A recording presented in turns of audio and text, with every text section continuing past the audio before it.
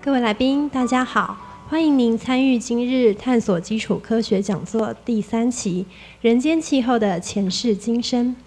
本日的讲题是解开古气候、解开古气候密码之钥——第四季的气候变迁。首先，先请让我们共同来欣赏本期讲座的开幕影片《天上人间》。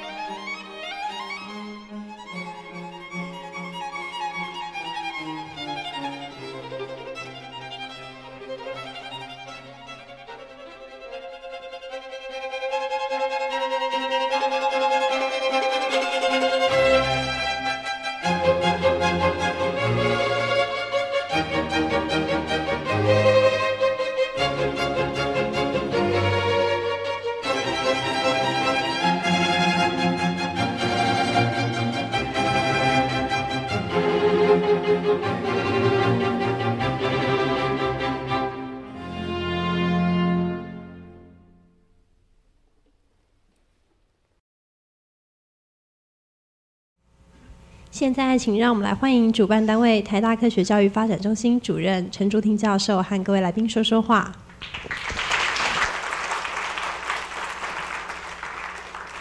呃，在场的各位来宾们，大家好。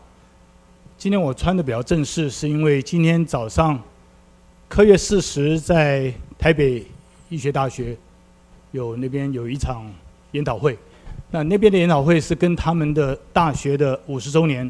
合起来办，所以今天他们大学过生日，同时办，呃，科学事实的庆祝会。呃，那边的主题是谈科普，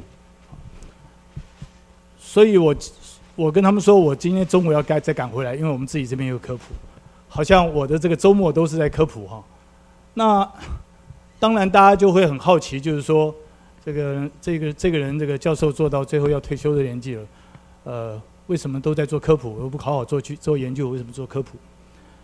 如果谈科普的话，呃，让大部分的同学们也好，在学的学生，或者是一般的普罗大众啊，我们平寻常的民众，能够有更多的科学知识，其实不是坏事哈。我觉得也是也好，呃，可是这可能不是我最关心的问题。呃，我觉得。我会把我自己放在科普里头，事实上是因为我觉得台湾需要有更多不同的、有专业的知识，可是又不同的思考方式，而且要懂得自己的思考方式特点在哪里，别人的思考方式跟自己相同在哪里，不同在哪里，然后思考的内容如果有差异的话，到底怎么来共同对话？我还记得，因为我因为我自己有时候也会出去跟人家谈讲话，这这个演讲哈。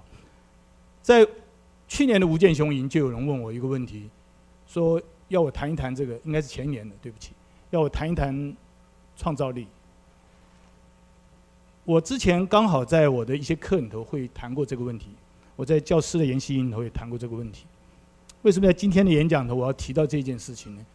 他们在问我关于创造力的时候，我跟他们说：如果你问的是像爱因斯坦这样子，呃，洞烛天机哈，这个把这个整个宇宙里头一个深藏在那边几千年人没有人弄懂的一个问题，把它想通了一部分。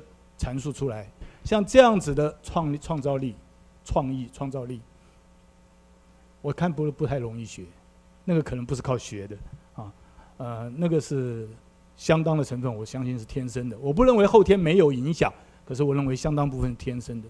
可是这样是不是就表示大家不需要创造力了？我也不这样认为。我认为很多事情能够学，多多少少很多事情大部分是后天可以学一点。所以他们问问到我这个问题的时候。我给了他们三点，我其中的第一点，这件事情我已经在我自己的课里头有时候都会去讲它了。第一点就是见往知来，你有时候会很好奇，为什么像这样子的问题会谈到见往知来？见往知来不是大家都这样说，学历史来见往知来嘛，对不对？今天我们的主题是由邱子乾博士，是中研院地球科学所的邱子乾博士。他自己先先说他很年轻哈，不过他是我们探索演讲的第一位的女性的讲员，这个是我们非常高兴的。事实上，我一直还在讲说，我非常希望明年的探索，因为纪念居里的缘故，我们能够办一季的女性的科学工作者。这个是在台对，不是在台湾很有很有意义而已，是全世界都是很有意义的事情，因为你很难想象。如果这个世界上有一半的人口没有在做科学的工作的话，不是很奇怪？那那一定表示这科学工作没什么重要，大概。要不然为什么有一半的人口不要去做？所以女性的科学工作很重要。不过回到我刚刚在讲这个创造力的问题，见往知来是如果你能够要学习知道你现在的站的位置是什么的话，你可能需要回头看一看。你站的位置以前有没有人站过？如果也有人站过那个位置的话，以前人在做什么样的事情？那你可以做一些什么事情跟他一样的或者不一样的？这同时也是我对每一个要毕业的同学跑来问我说：“老师，我毕业的时候该怎么办？”我讲的话大致也是如此。而且，如果你能够掌握这一点，掌握的不错的话，你对于你的将来，你大概也可以考虑一点点。能够考虑多远，我不太清楚，每一个人不一样。教育里头很重要一件事情，其实就是每一个人都不一样。台湾的人忽略了这一点，每一次在教育的事情上，大家都无谓的要求公平。其实机会公平不是坏事，这个就学的机会是公平不是坏事。可是以创意这件事情来讲，每一个人都不一样，尤其特别的是每一个人在不同的事情上有不同的创意。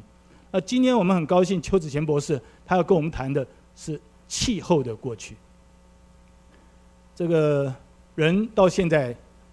你们如果去看我们去年春季的演讲，就知道，人的历史起码已经有四百年到五百年以上，四百万年到五百万年以上的历史哈。在这五百万加减一百万的这个幅度，这个还是不确定的数字，因为当我们有新的考考古出来的时候，这个数字可能还会变。这是很长的一段时间，你很难想象。那我们这种人在这个世界上不过四五万年，你看啊，有跟我们人很像的猿人出现在这个世界上，到我们这种智人出现世界上。四五百万年到四五万年，这个时间的尺度哈，呃，不是我们平常在学校里头上课填一填考卷的作业，你能够揣摩得到的。如果你出去旅行的话，你懂得什么叫神游的话，你就知道你要想象四五万年和四五百万年，那个不是简单的事情，你其实需要一点点知识。那今天在谈气候的问题，我们谈到我们的气候的主题是人间气候的前世今生，我们不是随便取的名称。因为人间气候，如果以有缘人开始就算的话，就是四五百万年是人间气候；如果只以我们这样子的人来考虑的话，就大概只有几万年。所以人间气候不是一个普普通名词，可是你要了解人间气候，你要知道过去发生了什么事情。今天邱博士要带我们神游到起码是百万年前，我们热烈掌声欢迎我们的邱博士。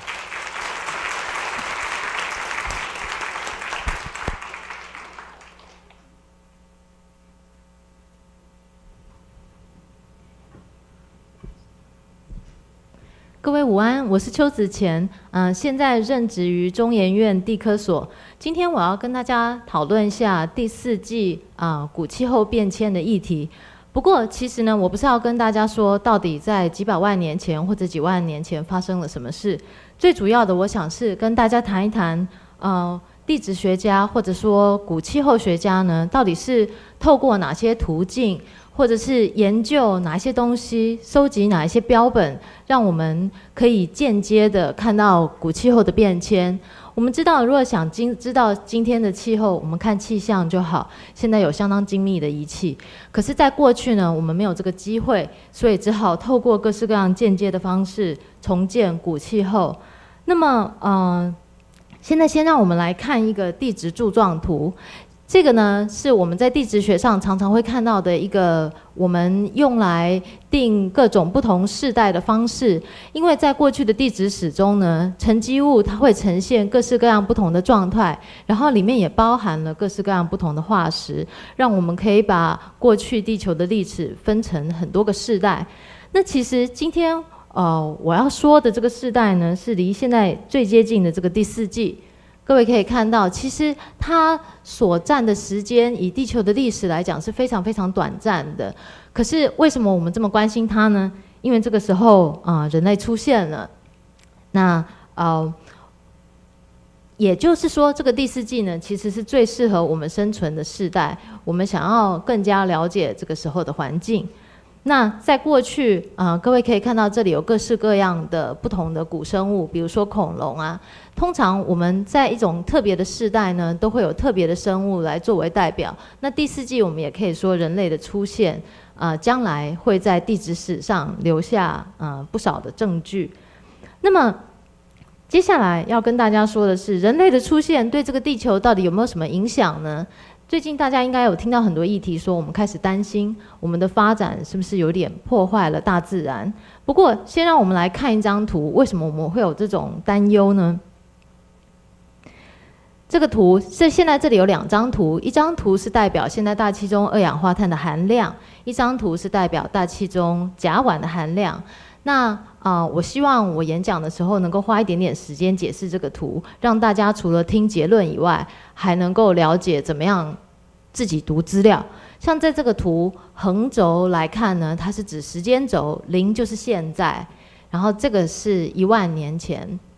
那在图中各式各样不同的彩色的这些 symbol 呢，是表示呃我们从呃一些标本里面看到的 data，或者是实际用一些仪器测量的 data，我们可以看到这个最接近现在差不多由这放大图来看，差不多过去两百年来来看，看起来啊。呃，再让我说一下，Y 轴呢是指不同气体的呃含量，然后从呃零到呃更大的数字这样子，我们可以看到，在过去两百年左右的状况来看，看起来这两种温室气体在我们大气中的含量好像徒增了，所以大家就开始担心，是不是我们啊、摆了一些做了一些不太好的工业活动，还是怎么样做的这些影响？那会有这种担忧的原因，是因为如果我们只看过去一万年以来啊，其实这些气体在大气中虽然有变化，没有那么大，然后也没有这种徒增的状况，所以啊、我们有必要设法厘清说这个图增的状况到底是跟我们有关系呢，还是说在地球史上，或者说地球本身就会有这样子的变化？那这就是为什么我今天要跟大家讲说，其实，在我们想要准确的估计我们到底是怎么样影响这个大自然的时候，必须先了解大自然过去的历史。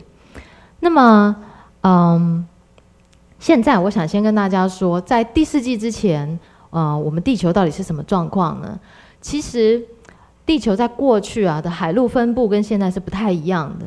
我们现在来看看第三季早期，这个时候差不多就是恐龙恐龙刚刚灭绝的时候。嗯，各位可以看到这两张呃海陆分布的重建图。其实，在那个时候呢，北美跟南美的距离是相当呃遥远的，然后欧洲跟非洲呢也是相当分开的。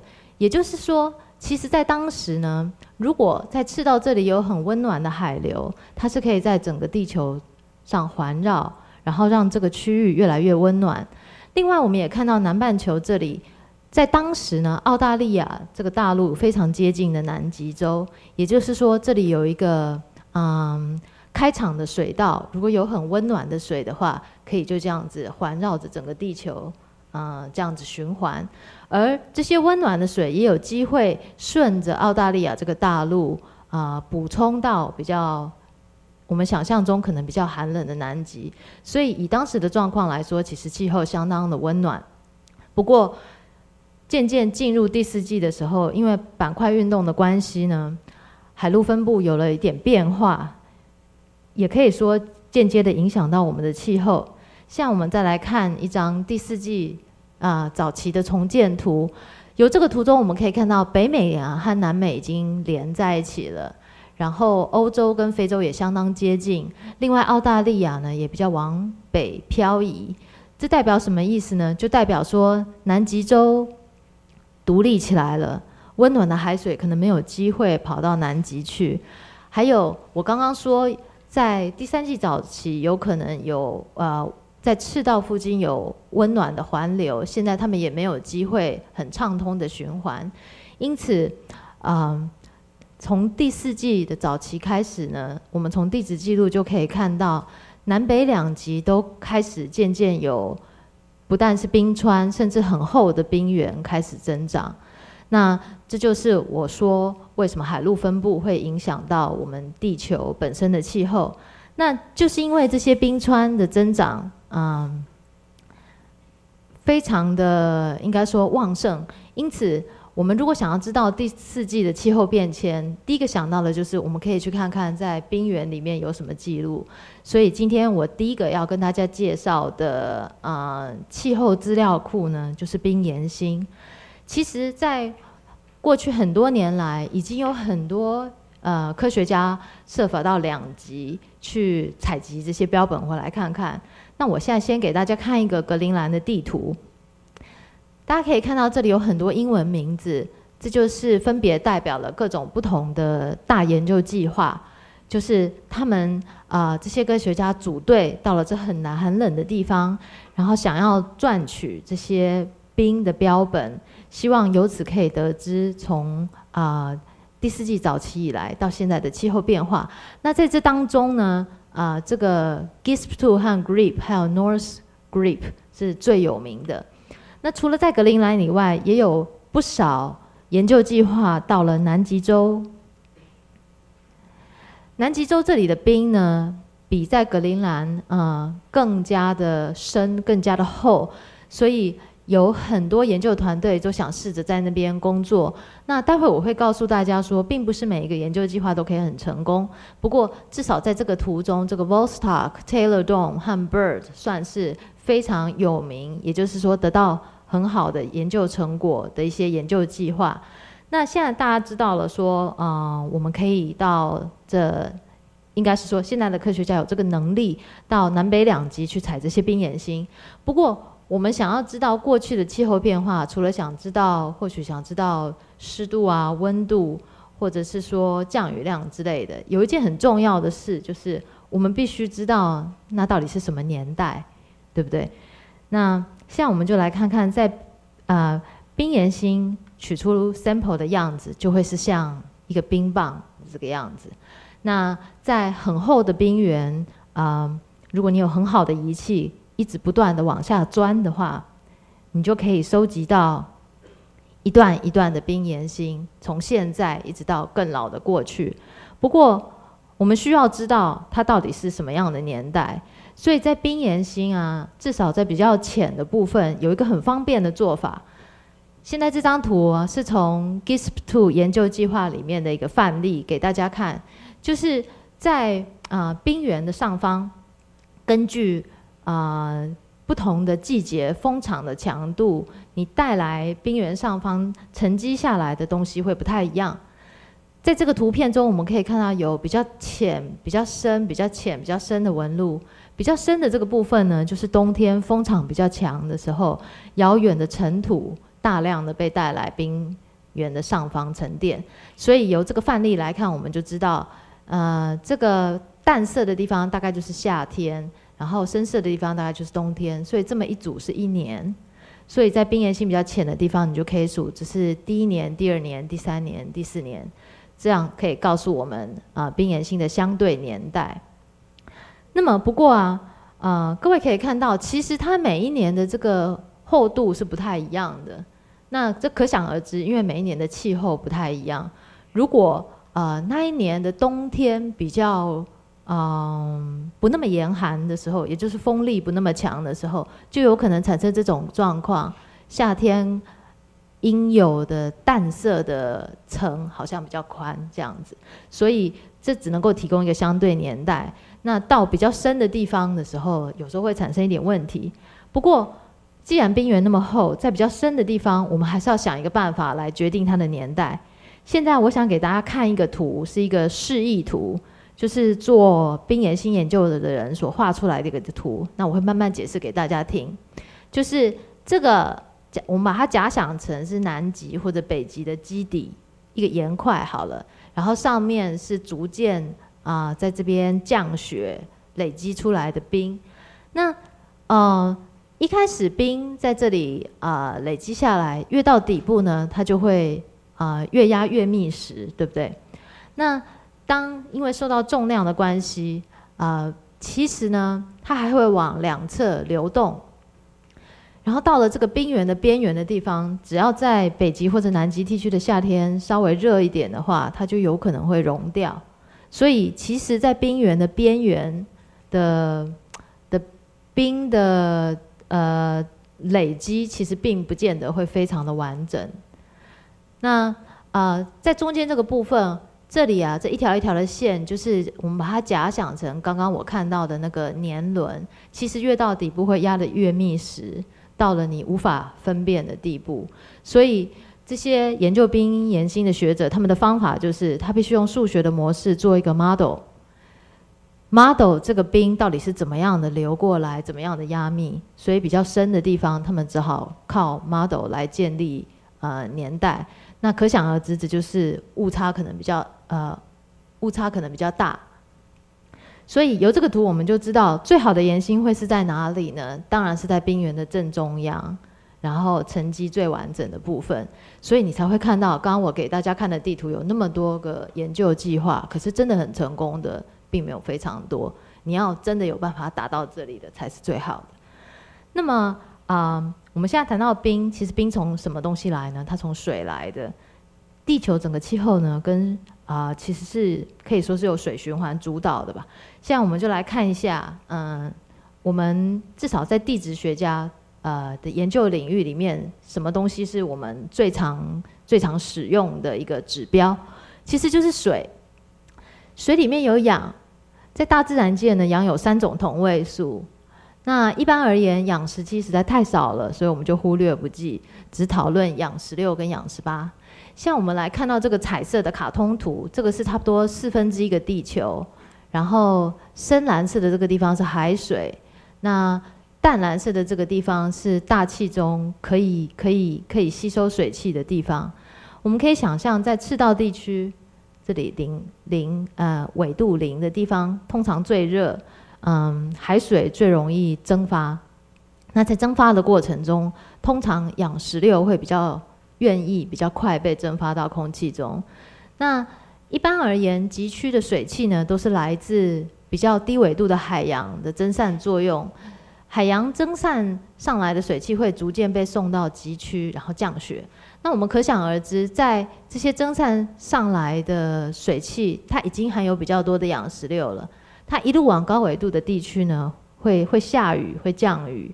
那在降雨的过程中，氧十八比较喜欢跑出来，所以极区上空的水汽呢，其实是和海洋相比较起来，它有非常非常多的氧十六。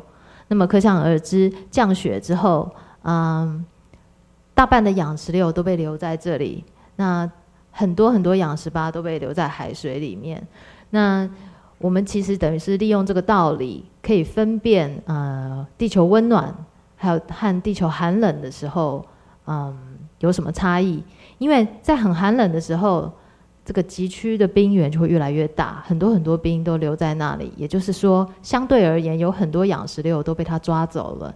那么，如果我们有机会测得当时的海水啊的氧同位素比比值的话，你可以间接的估计，在那个时候冰原是不是非常的广大，气候是不是相当的冷。那么在呃比较科学性的来说呢，我们其实是用这个指标 delta O eighteen 来指示。那其实它的概念很简单，就是我们测标本里面氧十八和氧十六的比值，然后再比上一个 standard。那以后我们讨论呢，就会经常呃用这个 delta O eighteen 来说。所以当我们说 delta O eighteen 的值比较高的时候，就是这个标本里面相对而言有很多氧十八。然后我们说这个值比较低的时候，就是表示标这个标本里面氧十八特别少。那接下来我就要说，既然我们已经说过这个冰的来源水了，我们到底取得冰岩芯之后，到底可以量里面的什么东西呢？第一个就是我们嗯可以把冰融掉，然后测测量这个冰的化学性质。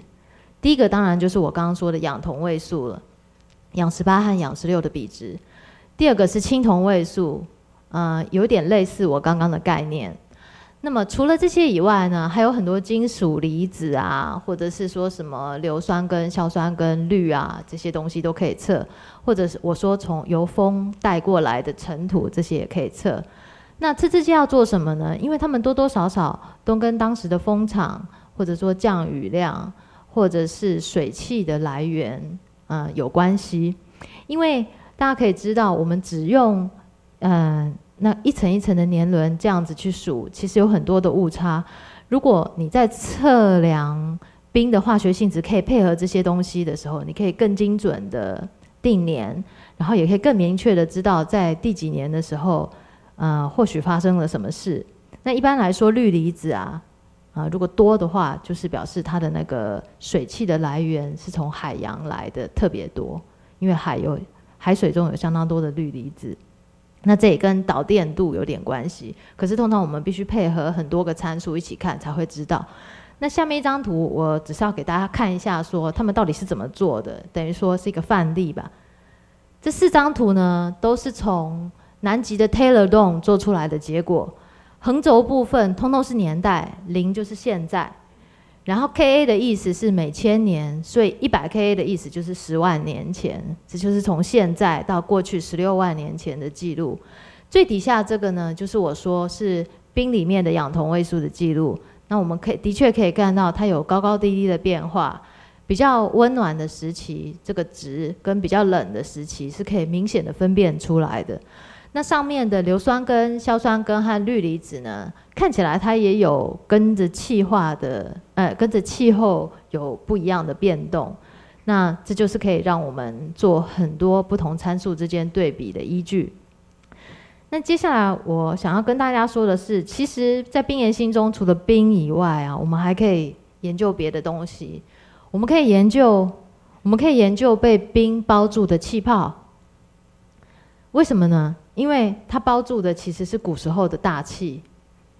所以，如果你分析那个气泡里面的成分，比如说二氧化碳啊、甲烷啊，或者是说里面的氧的氧同位素的话，你就有机会知道古大气的含量和古大气的组成是不是跟现在不一样。那这个其实啊，就是大家现在很关心的。之前我们看到有很多过去的呃二氧化碳的记录，都是有冰岩应该说比较可信的，都是从冰岩星的气泡里面分析出来的。不过有一件事要注意的，就是嗯，其实啊，嗯，气泡的年代跟它隔壁的冰的年代啊，不见得相同。为什么呢？现在给大家看一个图片，这个图啊，蓝色的这个蓝色的部分就是表示是空气啊，然后白色的部分就是雪花、雪或者是冰。当然，虽然我们这里不下雪，可是大家应该知道。雪刚下来的时候，其实相当松软的，然后它渐渐可能有点结霜，最后变成很硬很硬的冰。那在它很松软和结霜的过程呢，其实里面的空气和表面的大气还是可以有点流通的。所以其实雪，比如说这个深度周围的那些空气啊，还是跟现在的大气差不多。一定要等到它是相当坚硬的冰的时候，里面包住的气泡才会跟大气隔绝。所以可想而知，在底部这里呢，呃，这些冰的年代都比它包的气泡要老，对不对？所以，我们不论踩到什么样的冰岩芯啊，你必须约略估计啊，它的冰和它的气泡的年代差距是多少，因为我们。呃，想要知道古大气的资料是从气泡来的，可是如果想要知道它是什么年代，必须从冰来，必须从冰来，所以我们要知道这个年代的差距。那由此我们也可以了解说，其实冰岩芯的记录越年轻的部分越可靠，越老的部分，嗯，误差越大，就是这个原因。那么啊。现在我只是给大家看一个范例，就是说，啊，在这个图中一样的横轴是指年代，不过这一次现在在右边，然后六十万年前在左边，在最底下这里呢，就是从冰岩芯啊，我们融掉冰之后测它的青铜位数，可以看到呃暖期、冷期、暖期、冷期的这样子的变化。那上面这三个图呢，同样也是冰里面的记录，可是是由气泡来的。分析它气泡里面的 N2O 二氧化碳和甲烷的呃浓度。那当然，现在画给大家看的这个图，他们已经做了那个年代差距的校正了。我们就可以看到，的确在过去啊，呃比较温暖的时候，这些温室气体都比较高。那我最开始给大家看的就是说。过去的这两百年来，嗯，我们有不可思议的高含量的温室气体呢，就是在这几条线，我们可以看到这几条线上，所以这个记录就证明了说，啊，的确，至少以第四季来说，嗯，我们现在的温室效应，呃，温室气体的浓度是史无前例的，那，嗯，大概大概跟我们脱不了什么关系。那我们现在来看第二个。嗯，地质资料就是深海沉积物的岩芯。那现在先给大家看一个图，就是因为曾经有人问我说，深海岩芯到底是什么东西？其实道理很简单，啊，我们看这个是陆，这个是海，这其实只是个示意图啊，我们不要把这个 scale 呃太放在心上。我们想象在高山啊，或者是路上的岩石，经过雨水啊、风吹雨打、风化作用之后，它会有很多颗粒。会由河流渐渐的带走，那带到哪里呢？当然是带到海里了，对不对？那还有路上，我们有各式各样的风，风也会把沙漠或者是一些呃一些比较没有植被的地方的尘土四处乱吹，吹到哪呢？最后也是吹到海里面这附近。那假设是在比较高纬度，比如说北大西洋的地方，它的冰原的边缘有时候会稍微融了一点。融了一点的时候，它可能就会有一小块小小的冰山比较往南流。那大家知道冰里面可以包杂乱七八糟的东西，石头啊，或者是一些粗颗粒之类。它往比较南流的时候融掉了，也会就丢到海里沉淀在那边。那我们现在来看一下，在海洋里面呢，比较靠近大陆，然后坡度比较缓的呢，我们叫做大陆棚。这里啊，就会你就可以接受到很多陆源物质啊。很多各式各样嗯的东西，那在这里的沉积速率呢会相当高，有时候可以到每千年几十公分这样子，或者或者我说每千年五六公分到二十几公分都有可能。那呃接下来嗯有时候有海底浊流，呃会把很大量的东西带到比较深海的地方。通常这里就会是这种东西，就是比较粗颗粒的，大量的往更深的海盆冲。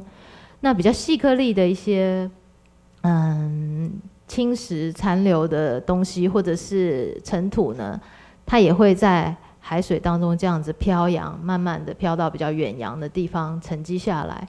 所以我们就知道，在比较深的海盆呢，其实颗粒都比较细。那沉积速率大概可以每年大概一两公分啊，或者三四公分就很不错了。那在这些地方呢，虽然它的颗粒系，沉积速率很慢，可是通常它会相当的连续，中年都有这些沉积物。所以如果我们可以取一个垂直的标本的话，你可以知道至少千年尺度的变化，或者说几千年尺度的变化，你可以了解。那其实今天我真正要跟大家介绍的呢，就是说，除了这些沉积物以外，其实海水表层啊，或者是说这个海盆底部啊，有很多的生物活动，然后他们会有一部分的生物它会造壳，那这些壳在它死掉之后呢，会留在沉积物里面，我们就可以用这些来做研究。所以待会我其实想要设法跟大家介绍的呢，就是一些什么有孔虫啊、盖板藻之类所遗留下来的化石。那其实这些化石，嗯，可以给我们间接的古气候的证据。那首先我要跟大家说，嗯，先给大家看看说，我们这个深海岩芯到底可以打到多长呢？下一张是我从网络上 download 的一个图片。我们可以看到这个管子，就是可以装那个深海盐晶的管子。那嗯，如果你有这么好的研究船，嗯，通常美国、欧洲他们他们有一些，你你其实可以得到非常非常长的记录。然后最有名的可以长到 KT boundary，就是恐龙灭绝的那个呃时期。然后也有更长的，就是只是那个是相当有名的例子。那我当了这张图，只是想说，这样大家可以很明确的了解，说到底可以长到多长。那我们嗯采了这些岩芯之后，怎么做它呢？其实第一步就是把它劈成两半，其中一半呢收起来，因为将来可能要再研究；另一半就仔细做观察。这里是给大家，这也是我从网络上 download 下来的图，给大家看各式各样不同的沉积物，其实它的颜色会不太一样。因为根据这个站位的水深水浅的不同啊，它所可以保留的化石或者可以保留的沉积物不太一样，所以颜色会不同。那接下来的做法是什么呢？通常我们就是把沉积这个这个这个破成一半的沉积物呢，把它一片一片切下来，然后选择你要的解析度，开始把这些嗯，应该说接下来想要做啊。如果想要收集那些化石的人呢，就会把泥沙洗掉，洗掉之后会是什么样子？就会是这些样子。你看到的好多一颗一颗的东西，那这里有个比例尺是五 mm，所以这些这些这些东西呢，在你看来会是细小的像沙粒的一些东西。不过在显微镜下看，不用相当大的倍数，你就可以看到它们长得其实不太一样。在这张图里面呢，主要的是浮游性有孔虫，那。为什么说它重要呢？它其实是单细胞的动物，然后它它会分泌碳酸钙质的壳。那呃，它大概生存在海水面大概零到两百公尺之间，有时候比较浅，有时候比较深。但是它死后，它它的数量相当的大，死后这些壳都会渐渐的沉淀到嗯。海盆的底下，然后你就可以把它嗯收集起来做研究。那么要做他们做什么呢？第一个可以看到他们的长相的确有点不太一样，对不对？虽然这里不见得每个人都会辨识种属，可是如果你会辨识种属，嗯，你又了解它现在的生态的话，我们其实可以多多少少知道，嗯，多多少少显示古温度。为什么呢？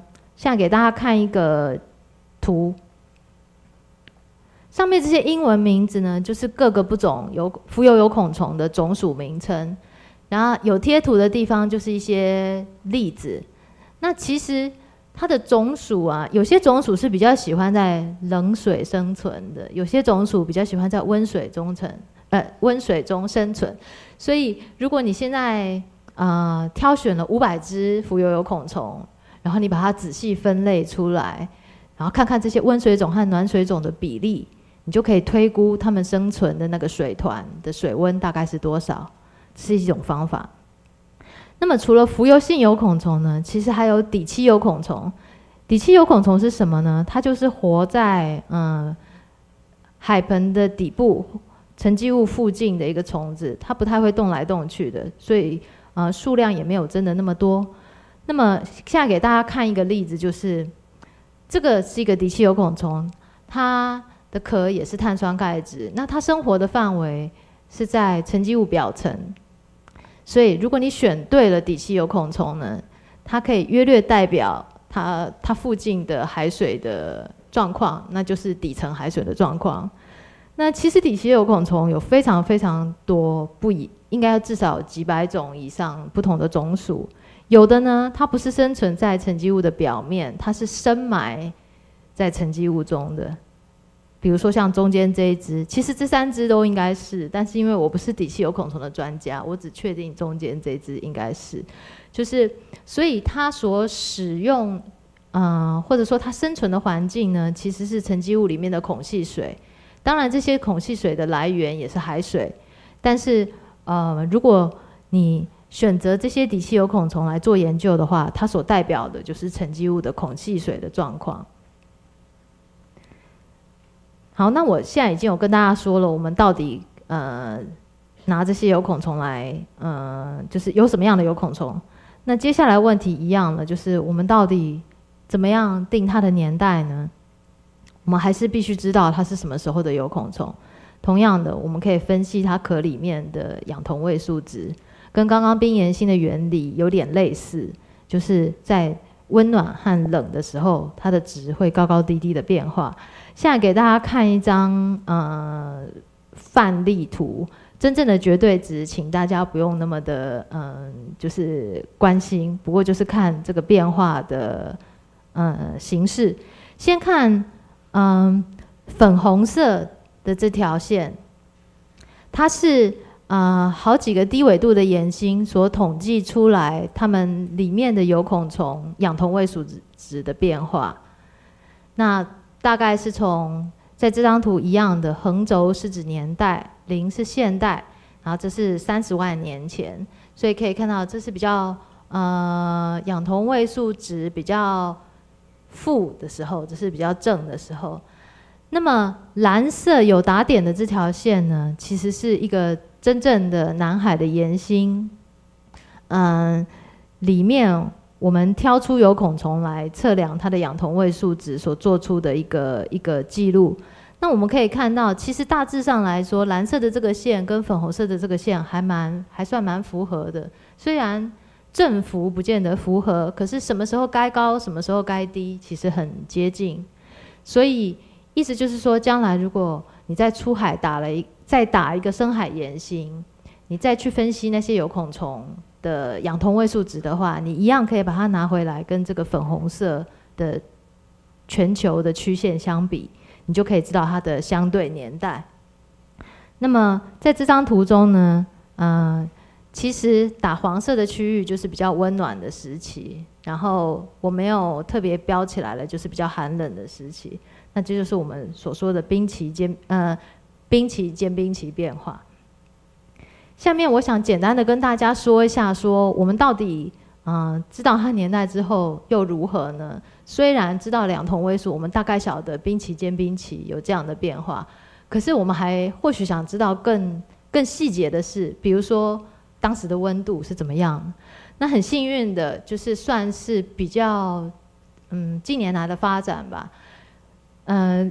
有一些科学家发现啊，这些有孔虫的壳，它其实虽然是碳酸钙，它里面有一点点镁，所以他们发现呢，如果你测量这些有孔虫的壳的镁钙比，它好像跟表层水的海水温度可以成一种特定的关系。那我现在只是要给大家看一个图，就是有一群科学家，他们真的去培养浮游有孔虫，然后在控制的。呃，水环境下养它们，然后建立出一个关系式。在这个图中呢，横轴是温度从冷到暖，纵轴是有孔虫壳里面的镁钙比从零到十五。那我们这里可以看到一二三四条不同的曲线，这是四种不一样的浮游有孔虫。看起来，呃，的确有孔虫的镁钙比和温度有一定的关系，然后好像可以用一个经验方程式把它建立出来。只是不同种属之间好像有点差距，那也没关系。将来我们如果采到呃深海沉积物，你只要确定你限定在同一个种属，啊，然后去分析它的镁钙比，你就可以用其中一条曲线来建立古温度。那除了古温度以外，其实我们也想要知道过去海水的酸碱值，也有一个方法，这是更新的研究，是后来大家发现，其实除了镁啊，或者是钙这些东西，有孔虫里面还有硼，然后它的硼同位素值呢，跟表层海水的酸碱值其实是有关系的。那他们发现硼同位素跟酸碱值也有类似刚刚前一张图的这个关系式。那我现在想给大家看的一个是呃真正的实例吧，等于是说呃一个成功的实例。先看上面这张图，这是从深海岩芯做出来的结果。在横轴方面是年代，从现代一直到过去四万年。然后这些黑线呢是浮游有孔虫的氧同位素值，告诉我们冰期呃我说错了，告诉我们间冰期、冰期、间冰期、冰期的变化。那这些红色的正方形呢，就是它去测量这些浮游有孔虫的硼同位素值。那的确看起来好像真的跟氧同位素值有点变化，虽然它的 sample 量并不多。那接下来。呃，我要跟大家说的是，其实这个硼同位素值，嗯，你可以呃用它，然后利用一些假设计算出溶在海水中的 CO2 含量应该是多少。那么理论上，这应该跟啊大气中的 CO2 含量会是一样的。下面这张图就是它的结果。要给大家看到的是。在下面这张图中啊，这些黑色的点是从冰岩芯当中做出来，冰岩芯的气泡当中做出来的二氧化碳含量变化。那这位学者呢，他拿这些硼同位素值做了一些计算，计算出他理论上过去的呃 CO2 含量会是多少，画在这边。结果大大家发现，虽然不是百分之百的吻合，可是也相当接近了。所以这其实是目前还相当新的一个研究，呃，让大家知道说，其实有有孔虫也有机会知道过去古大气 CO2 的含量。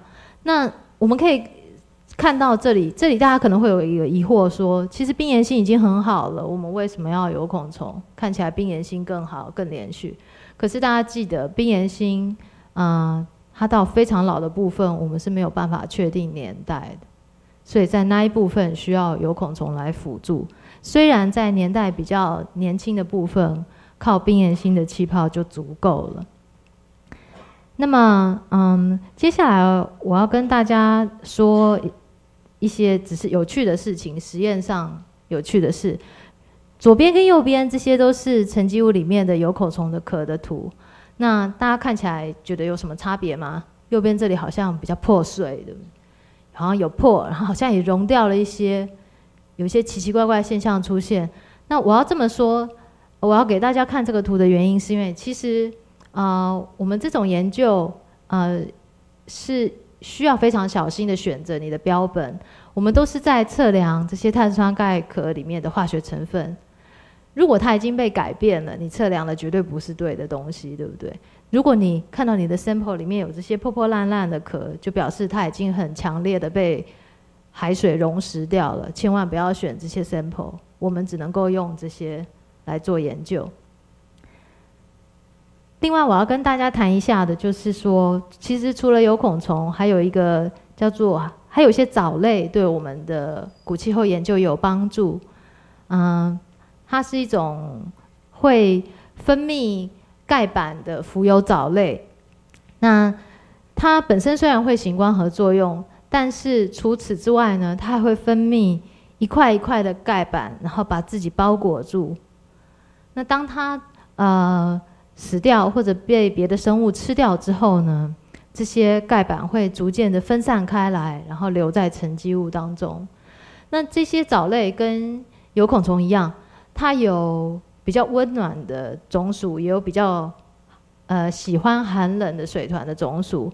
所以你如果去数这些盖板简单来讲，就是说来估计过去的这些藻类的数量的话，你也可以约略的知道当时的海水温度。那为什么我会谈到这个藻类？其实是除了它本身以外啊，它有一个很特殊的东西，就是它生长的过程，它会分泌一种一些特殊的有机化合物，然后非常的非常的坚固，不会被侵蚀掉，不容易被改变。那这一些有机化合物的成分啊，应该说相对的含量，呃，让一些地质学家发现呢，跟这些藻类当时生长的温度有关系。那我现在简单的让大家看一下，它们到底是什么东西。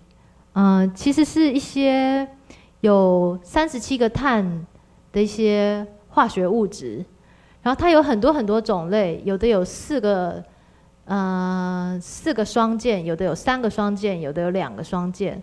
然后大概在过去的可能，嗯，二二二十二十多年前吧，就是有有人发现呢，如果我们只注意在呃三个双键和两个双键的这个这个化学物质的比值呢，它会跟呃这些藻类。当时生存的温度有关系，所以如果你可以在沉积物当中萃取这些嗯有机物质，嗯，你可以计算出过去的古温度。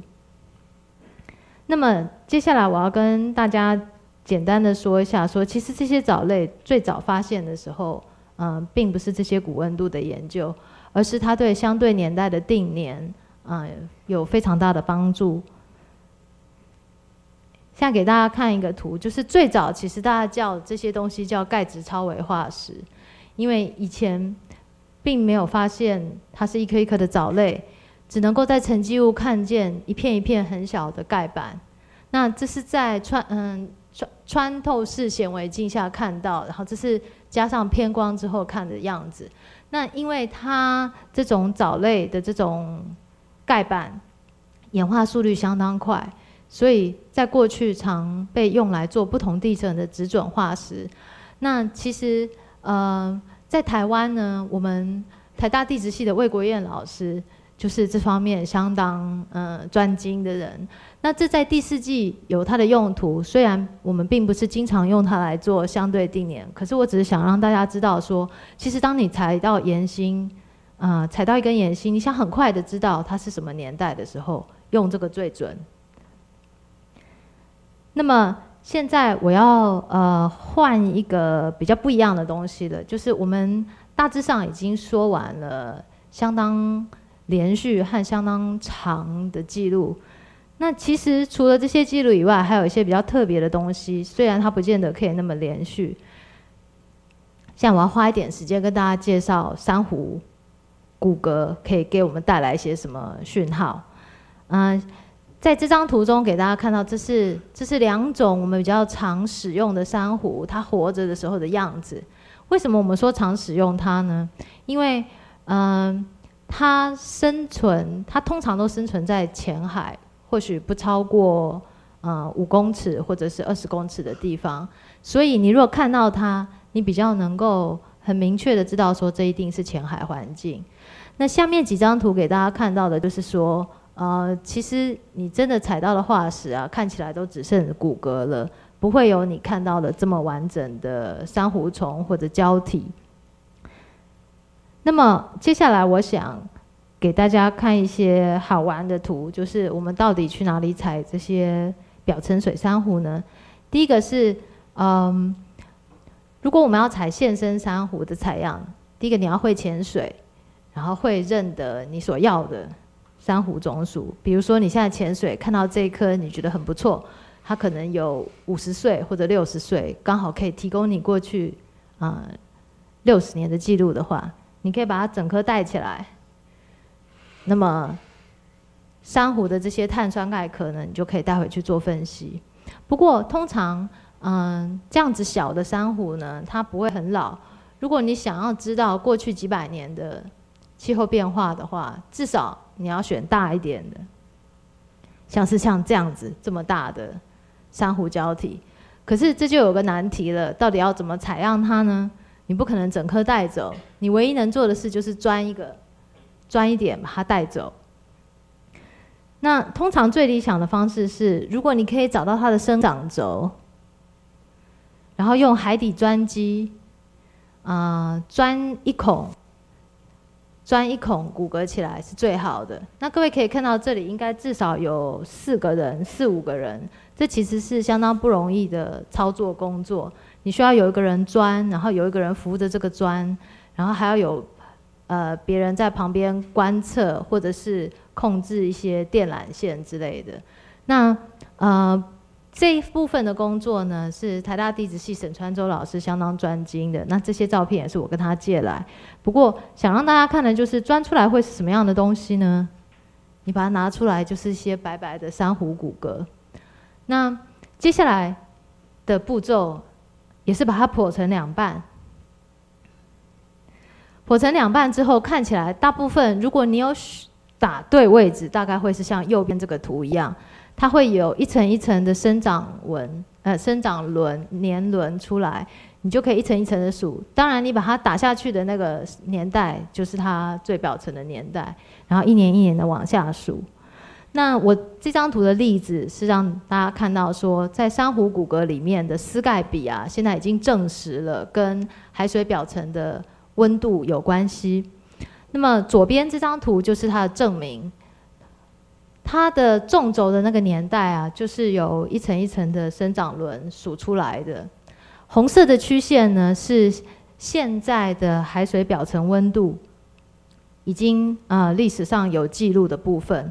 那黑色有打点的连线呢，则是我们分析珊瑚丝盖比啊所画出来的线。那由这一段时间，我们就可以证明说。啊，这个丝盖比和 SST 是表层海水温度，果真有很紧密的关系。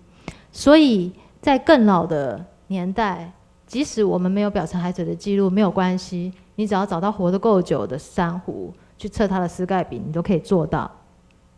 不过再怎么说，像这样子的活的大珊瑚啊，大概几百年应该不会更老了，所以。其实我们有很多 sample 是来自老的珊瑚，更老的珊瑚，比如说隆起的珊瑚礁这样子的地方。这些这是一个很大的珊瑚礁体，它以前应该是在海底的。那因为呃构造抬升的关系，它逐渐露出了海面。那有这是在海边你就可以看到，有的甚至会抬得更高，跑到山上去了。在这里大家可能看的不是很清楚，就是这这一整块都是珊瑚礁。然后这里有一个羊肠小径，人大概可以爬上去。那这里大概是离海拔，嗯，至少三四十公尺、四五十公尺的地方，也是以前的珊瑚礁被抬升起来的结果。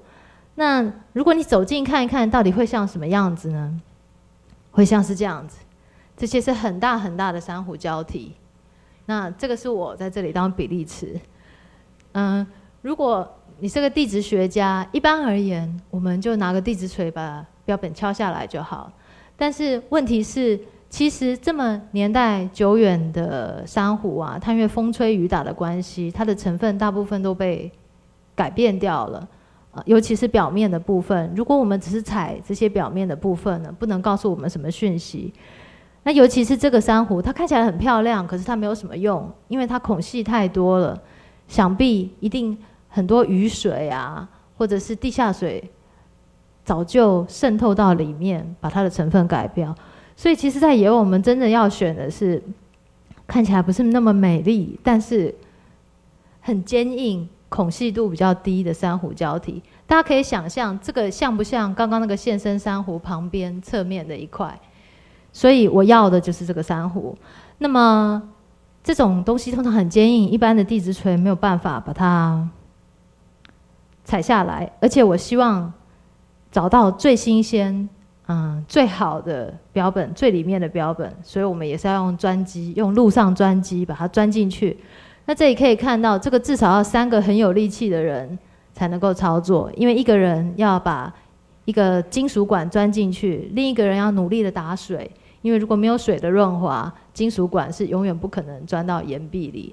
那还要有第三个有力气的人，他要不断的在海边或者水源和山上来回的跑，因为这桶水是不够用，他必须来回的跑。那其实整个作业程序要有第四个人，因为要有人拍照做记录，还有把他们打出来的 sample 带到山下去，所以其实。四个人一天能够做的工作非常有限，因为通常，嗯，这都是在很高的山上、很炎热的地方。那么打出来的东西会是什么呢？就是像这样子，它也是一管珊瑚，大家还可以看到一点点珊瑚骨骼的样子，还有一些尘土。那化石珊瑚的做法比较不一样，就是，嗯，我们即使把它剖成一半了，我也不能保证我看得到生长轮。因为毕竟它是已经被抬升扭曲的珊瑚，呃，我必须它即使有生长轮，我也没有办法那么明确的把它一轮一轮界定的出来。我们必须靠别的方式来决定它的年代。那如何决定化石珊瑚的年代呢？就跟它跟就跟珊瑚的造壳的过程有点关系了。这是简单的示意图，我跟大家介绍一下，就是珊瑚啊，其实，呃。大家知道，珊瑚其实是珊瑚虫，它造壳是在它的底下造壳的。那其实是这样，珊瑚它跟它底下的基质啊，中间会有一个很薄很薄的水层，然后这个水层大概跟周围的海水有点流通。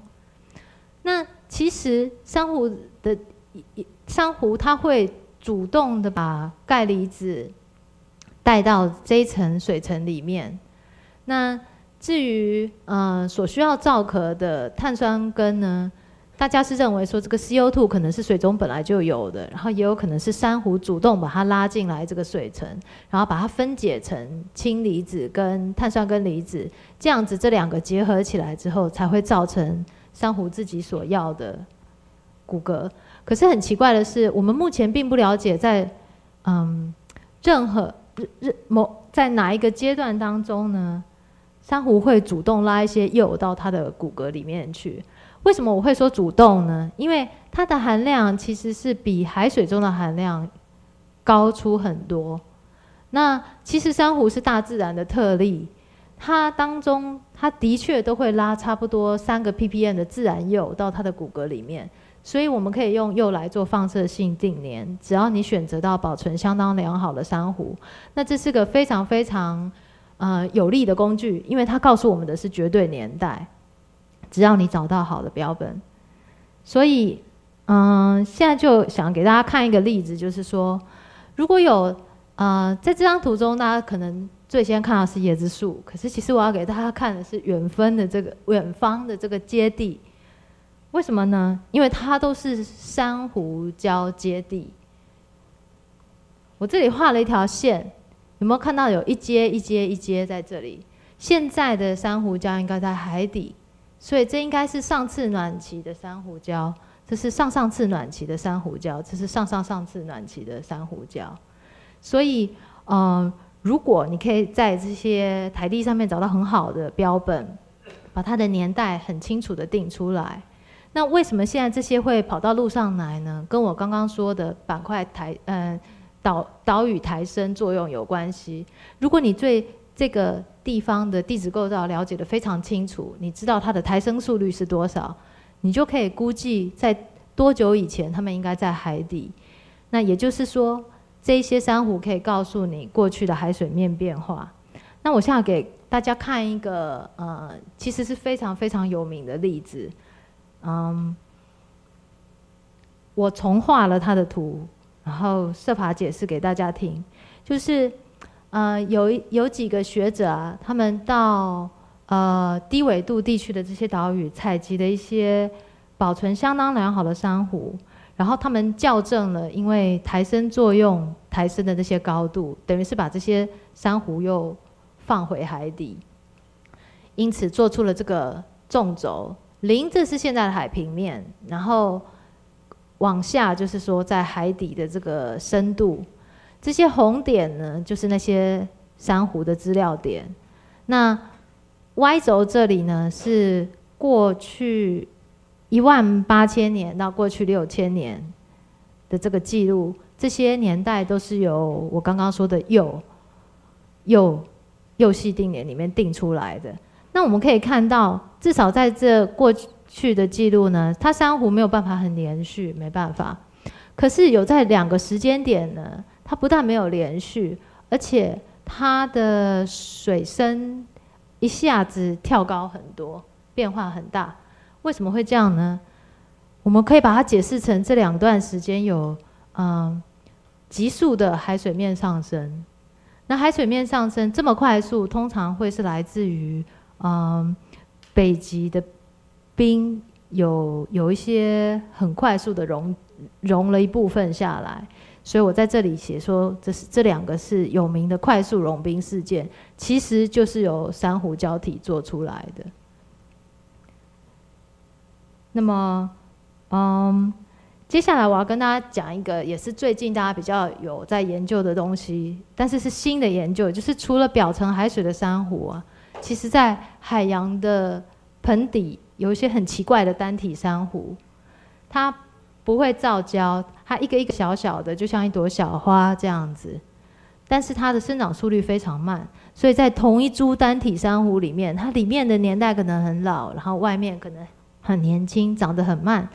那我这里只是用这个种属来做做范例，它可以生长的水深呢，可以是海底五百公尺到两千公尺，甚至更深一点都有。那它很奇怪的是，它特别喜欢长在很陡的坡或者是很硬的基底上面。那这里也是有一张图，这这个其实是死掉的骨骼，然后这个是活体，它倒过来长，给大家看看这个样子。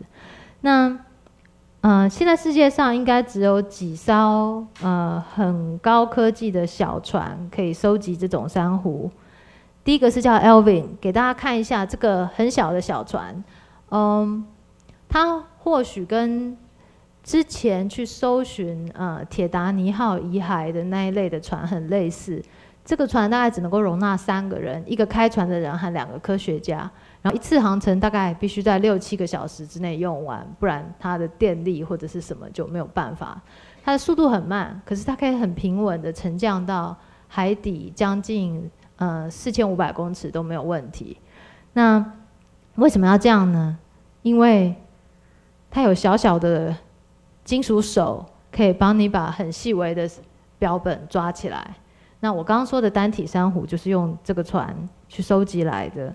那单体珊瑚要做什么呢？它在海水那么深，我现在想刚刚跟大家讲一个概念，就是其实整个全球的气候啊，跟海陆分布有关系，跟洋流有关系。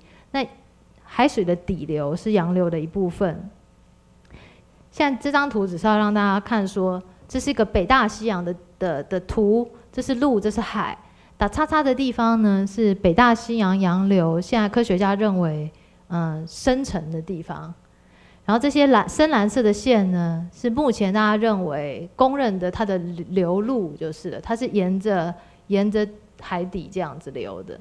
那这里有一个叫 o p h e n o 的地方呢，这里有很多单体珊，我刚刚说的深海单体珊瑚，所以嗯，它的年代分布很广，然后水深分布看起来也很广。也就是说，你如果分析它的化学性质，你有机会了解。这一条北大西洋洋流流路，呃，过去的变化，那这也是最近比较新兴的一些研究。嗯，现在呃，我在我要换到另一个比较不一样的东西，就是我们现在跑到路上来。刚刚讲的东西大部分都是在海中生成的，可是其实做古气候研究不是只有海里的。的的记录，路上的也可以。那现在就要跟大家介绍说，洞穴钟乳石也可以告诉我们很多有趣的事。不过，我想大家对这个名词并不陌生，但是到底在哪里找呢？通常是在科斯地呃科斯特地形的地方找。我们现在可以看到这里啊，就是一个呃科斯特地形。那通常这些地形周围啊都还算肥沃，而且会有不少人住着。可是，在这个底下呢，就是有很多洞，然后你就可以下去找钟乳石。不过，我想先跟大家简单的介绍一下，说为什么会有这些钟乳石的形成。底下给大家看一个示意图，就是通常这个这个原岩母岩通常要是石灰岩，那石灰岩本来就比较脆弱，它可能有些裂隙，然后这些地点通常必须是比较气候潮湿的地方，你才会有雨水。雨水做什么呢？雨水降水下来之后，它会形成一些河流，然后这些河流会顺着原本就有的裂隙一直挖蚀下去。那如果你有一个很挖的一个很深的洞呢，就会跑到地底下去，成为地底下的河流。那如果外面的岩壁有裂隙，又会跑出来，嗯，让你重新见到这些河流。那在这些石灰岩地形，通常表面你会看到一些很很清楚的裂隙，或者是非常陡、非常陡峭的地方。那还有一些很特殊的地方是，它风化的产物啊，常常会是红红的，有氧化铁的东西在这里。如果说这个系统发展的很极致的时候，你可以在地底下挖出很多洞，这些洞有可能是本来就有的弱面，那也可能是被水逐渐呃挖蚀下去的。那无论如何，当这些地下水的水面往下降之后啊，这些洞就会算是呃脱离水面吧，但是。还是会有陆陆续续有天水沿着这些裂隙跑下来，逐渐沉淀出各式各样的东西。那沉淀出什么东西，其实跟上面的土壤啊，还有原来的母岩都有关系。现在我想给大家看一个放大图，就是这里，纯粹好玩，就是这些水逐渐滴下来之后啊，其实它有可能从从从头顶逐渐沉淀东西出来。也可能滴到地面，然后才一点一点慢慢堆积，长出石笋；也可能两个连起来长成，呃，石石柱。那这些成分大部分都是碳酸钙。我想给大家看一个实例，就是，嗯，或许有不少人参观过钟乳石岩洞，可是就是如果它有一个的话，通常洞里面会有非常多。那你要做研究的时候。呃，一般而言要选择最适当的，可是其实你还没有分析之前，不知道哪一个是最适当，所以做法其实是申请政府的许可，然后采很多回来，那一个一个做，所以这其实是相当劳力密集的工作。做法一样，你把它这个锯下来带走之后，就把它切成两半，先观察一下。这些照片呢，是沈川洲老师去越南采回来的，呃，一些中午时标本。那呃，各位可以看到，它切成一半之后呢，这个比较清楚，看起来有没有？这像最早的沉淀，然后一层一层的往上涨，然后这个也有一点一层一层的往上涨，可是它各个颜色有点不一样，因为啊，钟乳石在沉淀的时候，除了从呃那些孔隙水沉淀以外，它有时候这些孔隙水会有点脏，夹杂一些乱七八糟的东西，颜色就会相当的脏，意思就是说它是不纯的碳酸钙，就是。那有时候，嗯，比如说因为气候的关系，水没了，或者是嗯水中的成分突变，它有时候会停止生长，你就会看到一个很清楚的一个痕迹在那里。那所以其实我们最理想，通常我们想要呃研究古气候，是希望有很连续的记录最好，很干净的标本最好。所以在这四张图中，这个是最理想。这些都有一些奇怪的，嗯，沉沉淀间断，或者是有很多杂质在里面。不过，其实，在所有的杂质中，有一个杂质对我们很有帮助，就是，嗯，其实这些孔隙水有时候啊会带一点釉留在钟乳石里面，然后只要它的含量够高的时候，我们就可以把它做来做定年。那接下来我要给大家看，呃，一个实例图，可能有点复杂，不过我慢慢解释给大家听。就是本来以前大家的想法都是认为说，洞穴里面的中午石可能没有办法跟全球的气候连接在一起。不过其实只要你找到适合的洞穴，嗯，你有办法解读全球气候的。以下的例子是从中国葫芦洞的，呃。钟乳石所做出来的资料，它证实了至少在那个葫芦洞里面的石笋啊，它的化学变化可以和冰岩星的气候讯息做对比。我们先从下面这个图来看，下面这个图是冰岩星的记录，它是从呃过去七万年到过去一万年的记录。这些淡蓝色的曲线呢，是呃冰里面的氧同位素。那高高低低的讯号表示了比较温暖和比较冷的阶段。那么上面这张图，我们先不管这个黑色的线，如果只看这些彩色的曲线的话，它是很多一段一段一段的钟乳石，呃所做出来的嗯记录。他们测钟乳石碳酸钙里面的氧同位素，可以做出这些曲线。然后年代呢，就是用右西定年定出来，所以他们有了绝对年代，可以把一段一段，呃，本来看似不完整的石笋，把它拼凑成完整的一个曲线。那虽然幅度上有所差异，但是的确看起来，呃，风谷的讯号可以跟北极冰岩星风谷的讯号对在一起。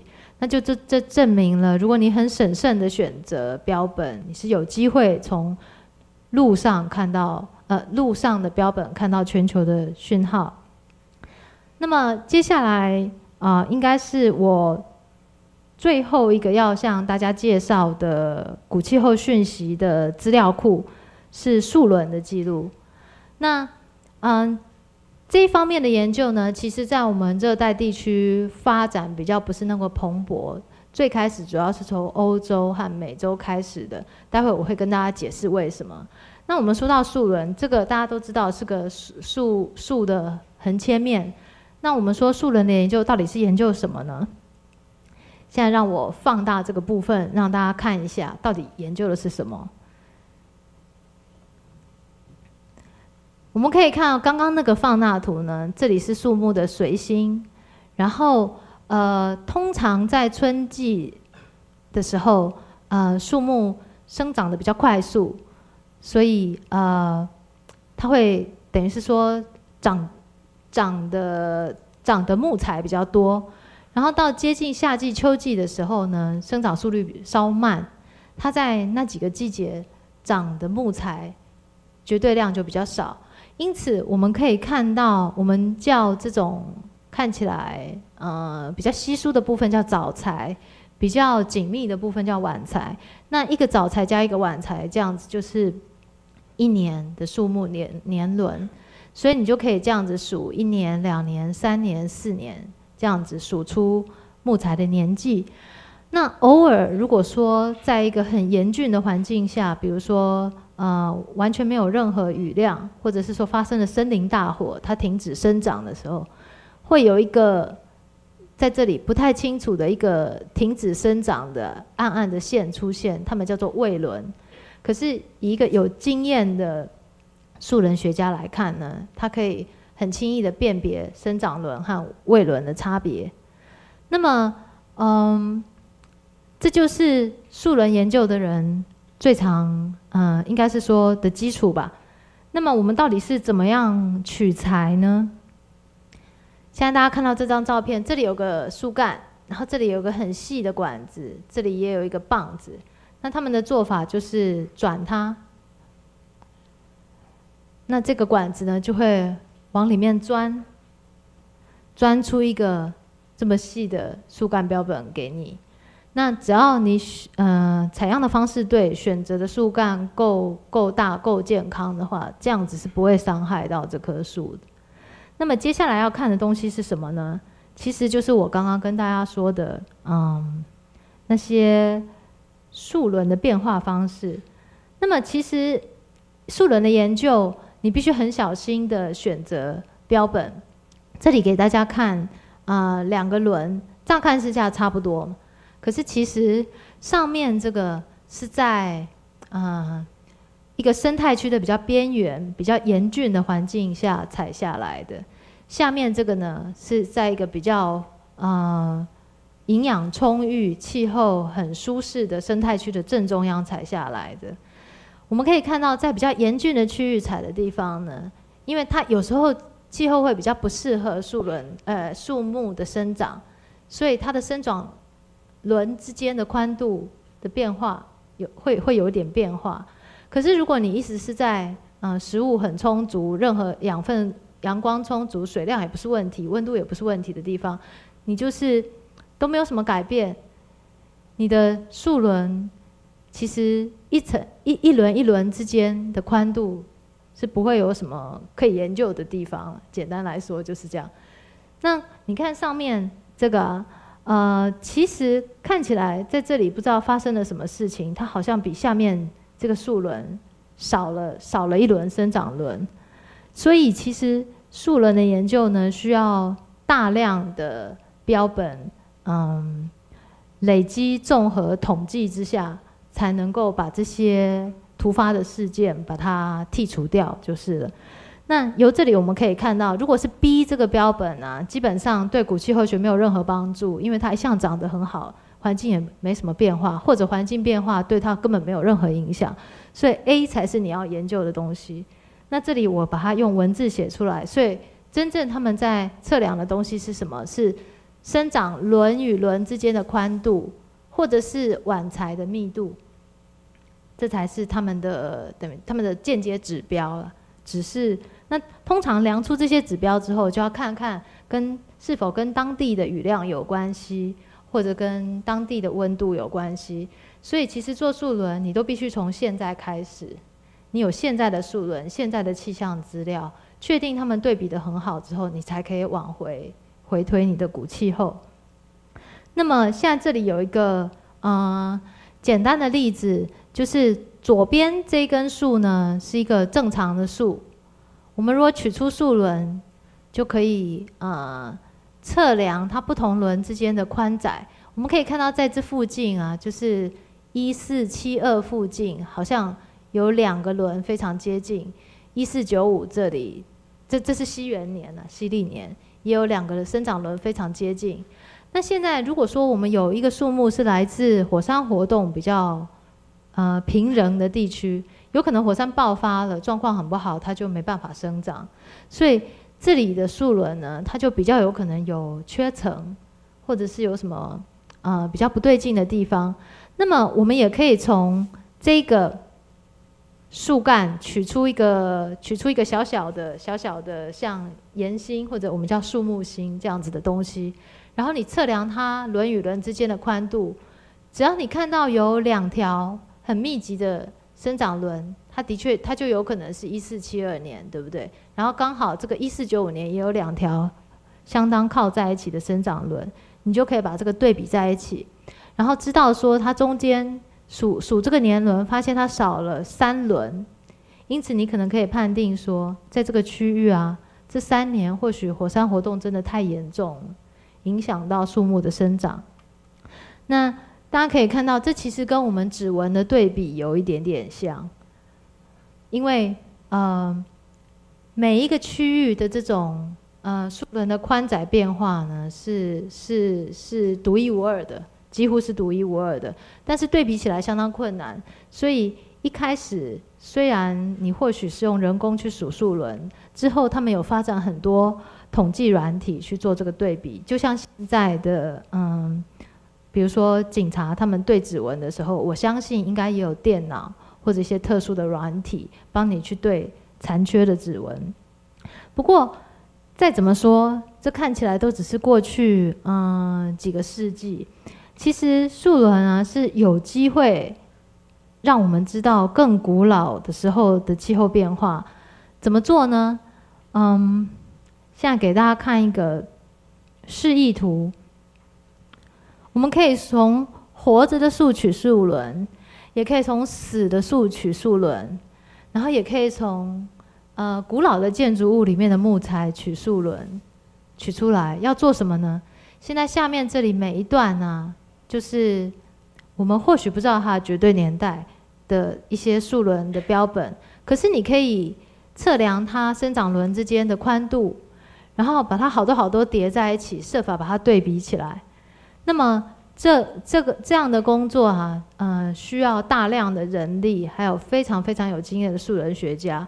那嗯、目前在欧美，他们可以把这个序列呃连到大概过去一万两千年，然后甚至他们认为现在可以延展到两万两千年。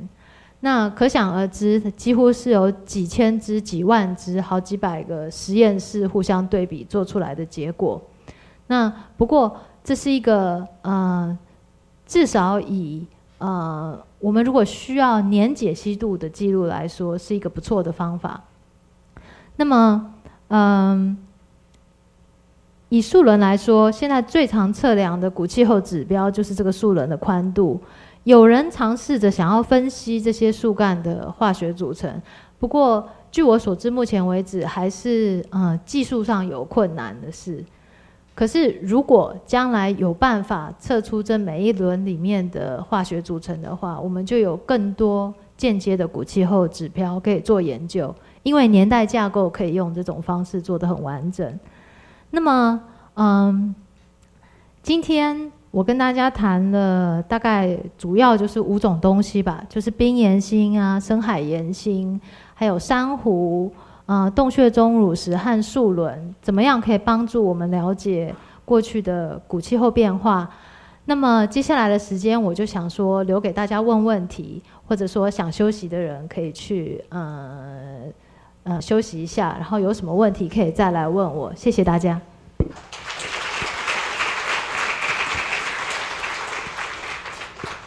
谢谢邱老师今天带我们从海洋、冰川以及陆地上游走学习了一番。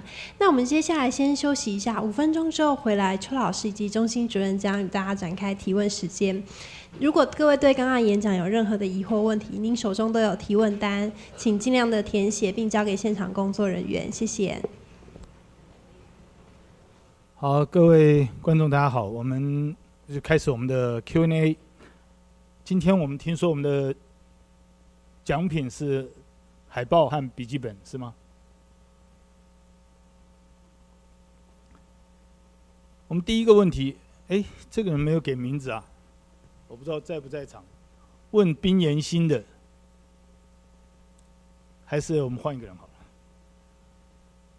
我不知道，这题目还不错，其实。嗯。问那个冰岩心。气泡很小的那位在场吗？好好算，那个你想起来的话告诉我。这也很麻烦，哇，今天都很神秘啊！这个这边写一个校友黄祥成校友，有吗？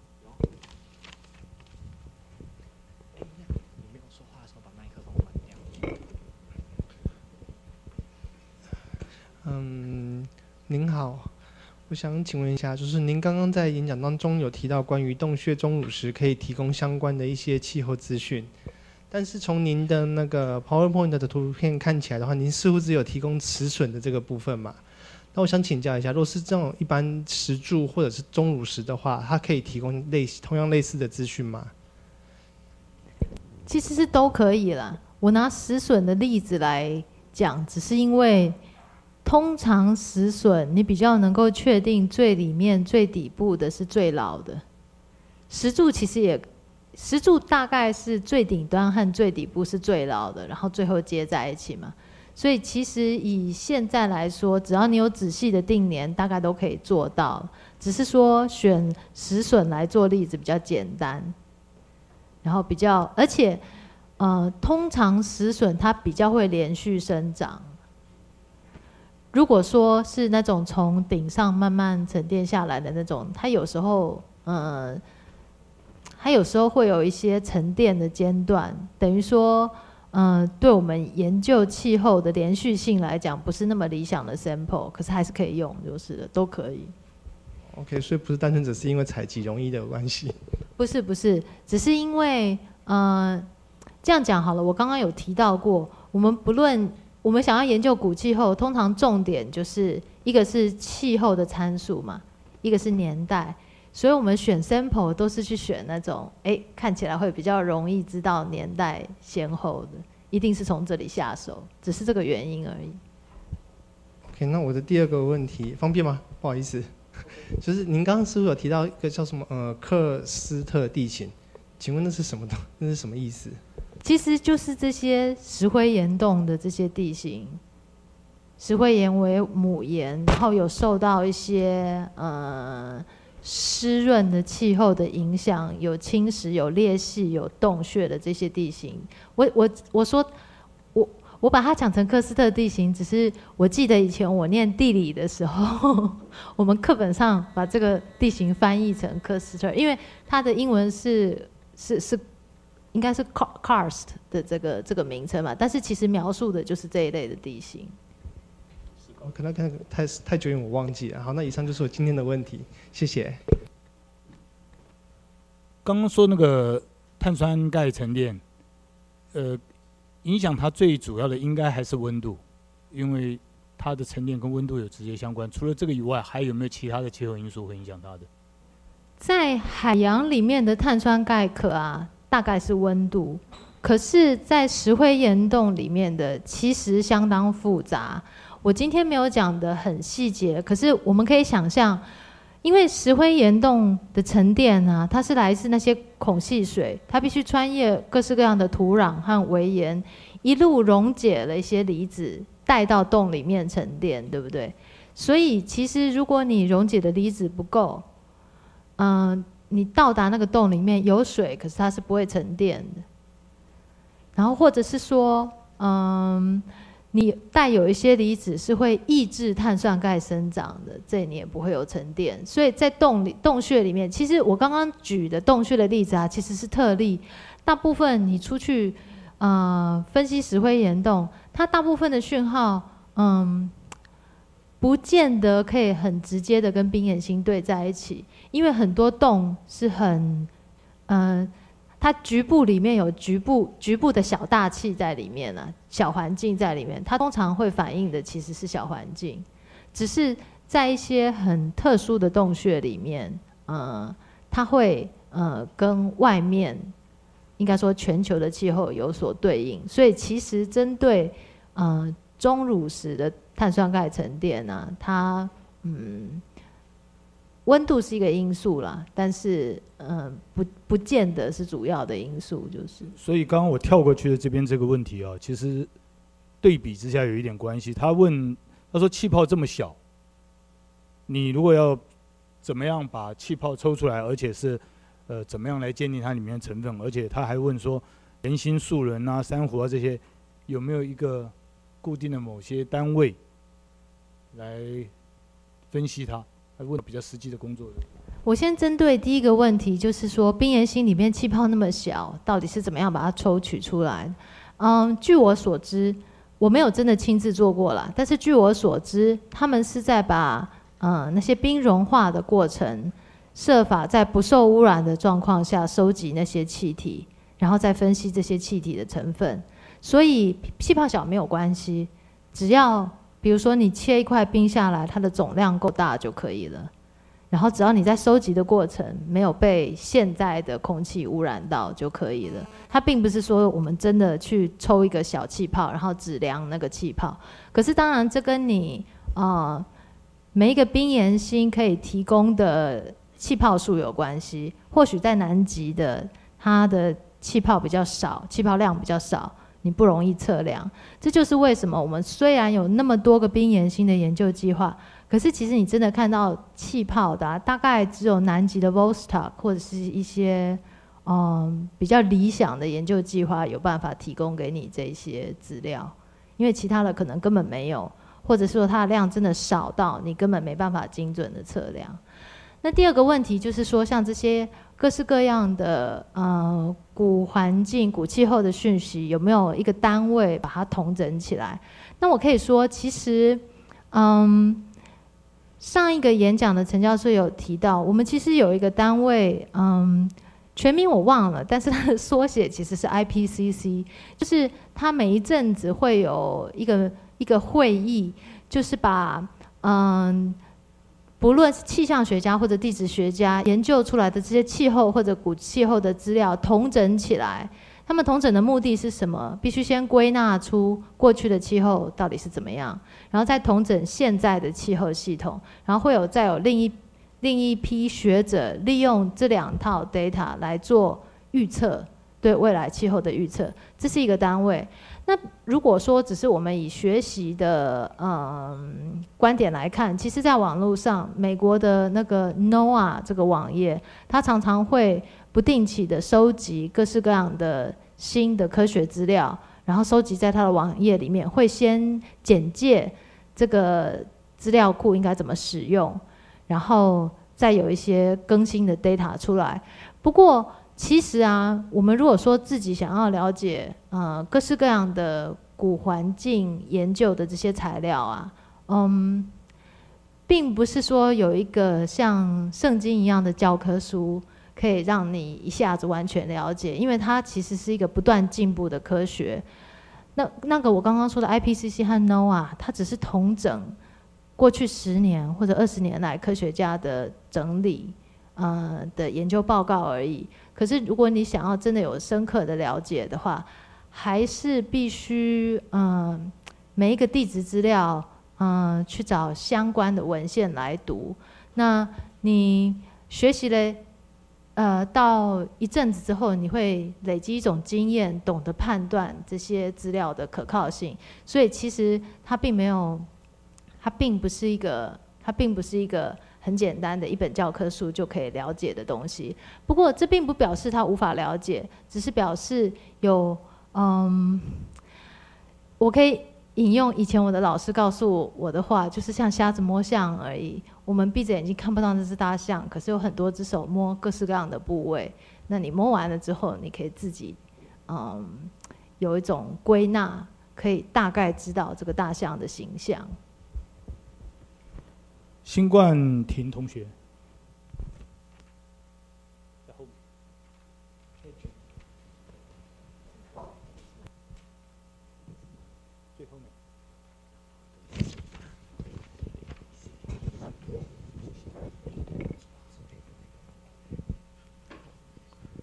呃，呃，邱博士你好，就是我想请问说，就是我们在做那个 molecular clock dating 的时候。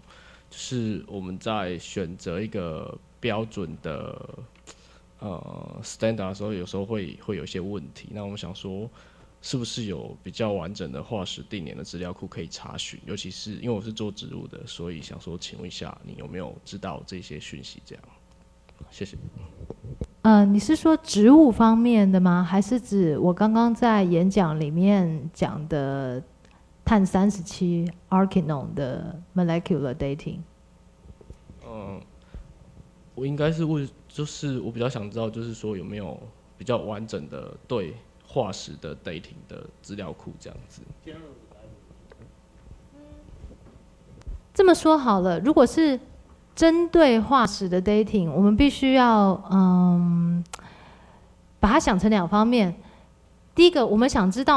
是绝对年代还是相对年代？先讲绝对年代好了，比较容易了解。如果你想要很明确的知道这个化石到底是什么时候产生的话，要不就是这个化石本身它必须要有含有放射性元素，然后保存的很好，让你来做绝对定年；要不就是这个化石可能被周围的沉积物包围，或者它上下有岩层。夹层，然后你可以用放射性定年的方式定上下的岩层，然后夹击这个化石的年代，这样你才会知道它真正的年代。可是通常这个情况并不多，因为如果你做的是植物的话，它可能大半是碳，碳你最多就是做碳十四定年。那如果年代更老的话，嗯，你几乎没有什么。如果它又没有釉。又没有任何其他的放射性物质的话，你没有任何方法可以做绝对定年。那如果是相对定年的话，基本上，呃，只要你知道上下岩层的程序，然后知道其他岩层的年的年代或者相对年代的话，你是可以约略呃局限出这个化石，它至少它的它最老会是会是。多老最年轻会是多最多年轻，这个你是做得到的。可是目前据我所知，并没有针对所有的化石，然后很清楚的都定年出说哪一个是什么，哪一个是什么。不过刚刚我在演讲当中有提到的钙质超微化石这种东西啊，因为它每一个特殊种的出现的年代并不长，所以它的确可以提供我们，比如说只要有这个种属，它就一定是呃 Miocene，或者说只要有这个种属，它就是一定晚，一定是晚第四季，这种是可以做得到。可是并没有很明确的说一定是第几年到第几年，至少据我所知。那如果像你说植物方面的话，嗯，其实我想要提的一点是，今天我在演讲中没提到的是，路上的湖泊岩心也可以做很多很有趣的研究，尤其是里面的花粉组成。那花粉组成，呃，有一些特殊种的花粉，某程度来说也算是演化的很快，意思就是在地质史上它的出现的年代很短，这种也可以提供你很好的相对定年依据。如果是呃要研究植物，或者说研究比较研究比较区域性的陆域环境的话，其实湖泊岩心里面的花粉反而，呃比较有可能提供你这个机会。那不好意思，那请问就是呃像这个花粉的资料有可有地方可以查吗？还是就是嗯，花粉的资料在网络上啊，据我所知没有地方可以查，可是有那种比如说。包粉学教科书或者花粉学教科书这样子的东西，它可以先告诉你说怎么样的花粉怎么样辨识，然后如果有这种很很经典的例子的话，它可以告诉你这个这种植物的花粉它的生存年代是怎么样。可是，嗯，至于很详细的细节啊，嗯。如果你有研究上的需求的话，我觉得可以现现在就有这个需求的话，是可以去问台大地质系的刘平妹教授，就是真的要做花粉学很有经验的人，或许可以给你更好的文献导引。他是圣言说的。OK，简其良同学。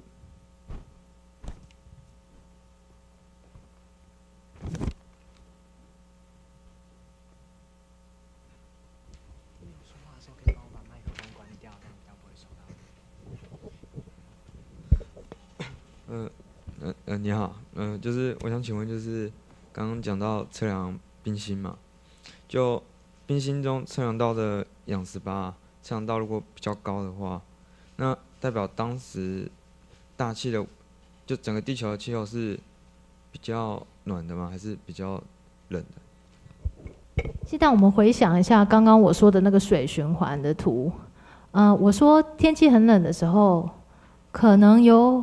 冰原会长得很大，对不对？很多氧石榴会被抓到冰里面去，这样子没错吧？所以刚刚你说，如果在冰岩芯里面的氧同位素值相当高的时候，它应该是比较嗯比较暖。那你可能有发现，在演讲当中，好像跟海洋的记录有点颠倒。那这个理由很简单，因为全球的同位素值，呃，同氧同位素的总数是一致的。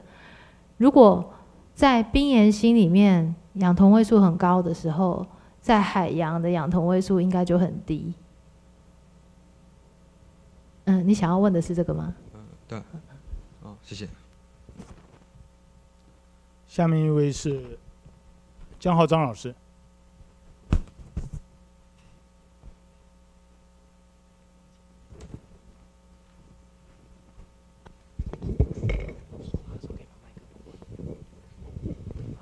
两位好，老师好哈。呃，接下来这个问题其实是我们在教高中地科的时候一个很麻烦的问题，因为我自己不知道。就是刚刚邱老师讲的各类古气候的证据啊，它能够回推到什么时间点？那如果只能回推到第四季的早期的话，那第四季之前的那些温度变化值，我们是怎么知道的？对，这是我的问题。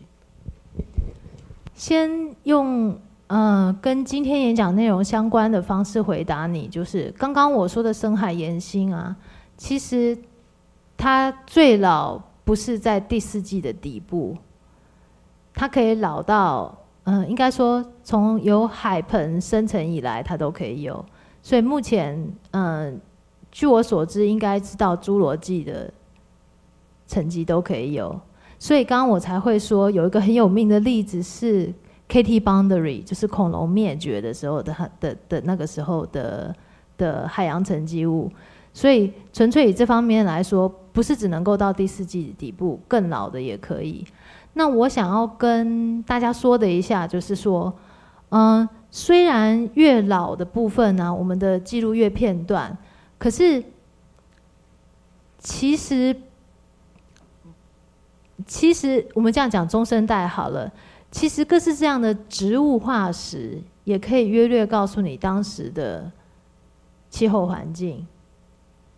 还有，如果在嗯陆地上啊有冰川前缘的遗迹的那一种，也可以告诉你过去的气候。或许或许没有办法很精准的告诉你说到底是比现在高两度，或者是高三度，但是我们可以明确的知道，至少以当地来讲是比现在更冷或者更暖。简单来说，如果一个地方现在很热，可是你居然有看到。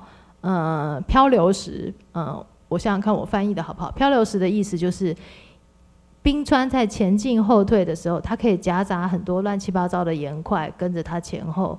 那如果它这些呃，可能叫冰气石，就是它往前进的时候，气候变暖了，冰融化消失了，这些相当重的石头会被留在原地的这种冰气石。的的那个前缘的估计，可以告诉你过去比现在暖或者比现在冷，或许没有办法像我刚刚介绍的一些化学性的分析说比较明确的告诉你像它脊柱，可是相对而言是绝对可以在地质记录呃地质岩层里面找到记录的。那所以可以回推到多老呢？嗯。看我们的岩层可以保存到多老？只只要那些并没有因为板块构造或者因为风化的作用被消磨掉，我们就有办法。不过通常其实我们最大的问题不是在找到这些证据，最大的问题是在定年，就是不知道它是什么时候发生的，只晓得在过去的某一段时间。其实通常大的世纪我们都没有问题，比如说。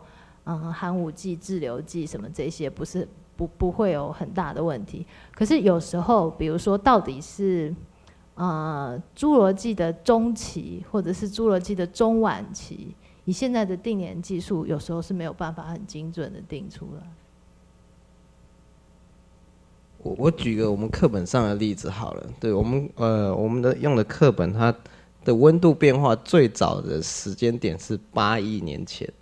那诶，八八亿对，八亿年前。那这个时间点，老师你觉得会用什么样的方式能够知道它当时的温度的情况？谢谢。八亿年前啊，我现在不知道。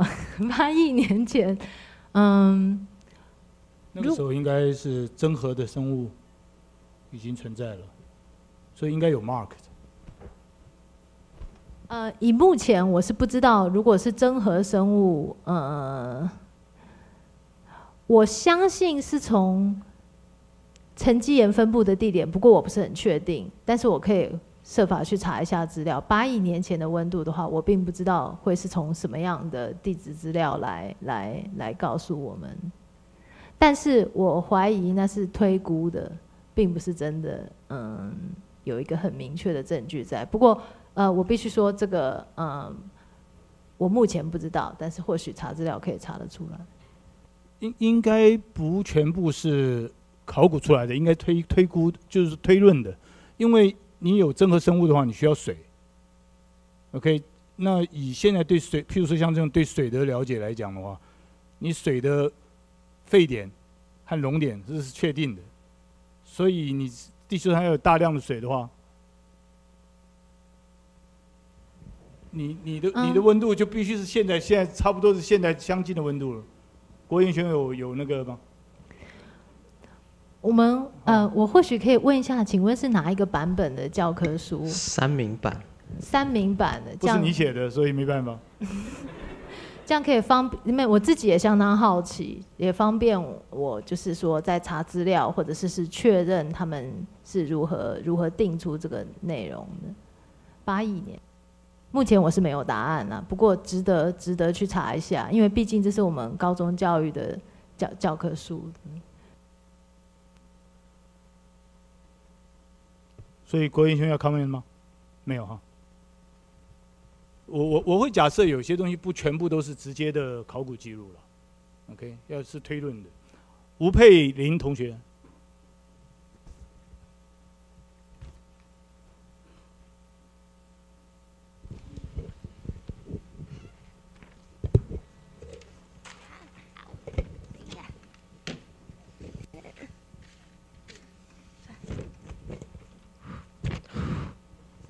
哦，我想请问一下，就我有三，哎、我有两个问题，第三个已经解决了。然后第一个就是，其中你有听到那个硼可以推得那个二氧化碳浓度啊，那请问两个之间有什么关联？啊、你是说硼同位素跟？哦，我这样子讲好了，就是硼酸这样子说好了。我说有孔虫的硼同位素跟可以推算二氧化碳，其实中间有很多计算。不过我们简单的来讲，就是有孔虫它在造壳的时候，它主要是碳酸根跟钙来造壳嘛。可是它也会，它也会，它也会带进一点硼硼酸，对我应该讲硼酸。然后硼酸在海水中其实有两种形式，然后它是有有一个是有带一个负电，一个是比较没有带电的。然后它在海水的浓度啊，相对浓度跟海水的 pH 值有关系。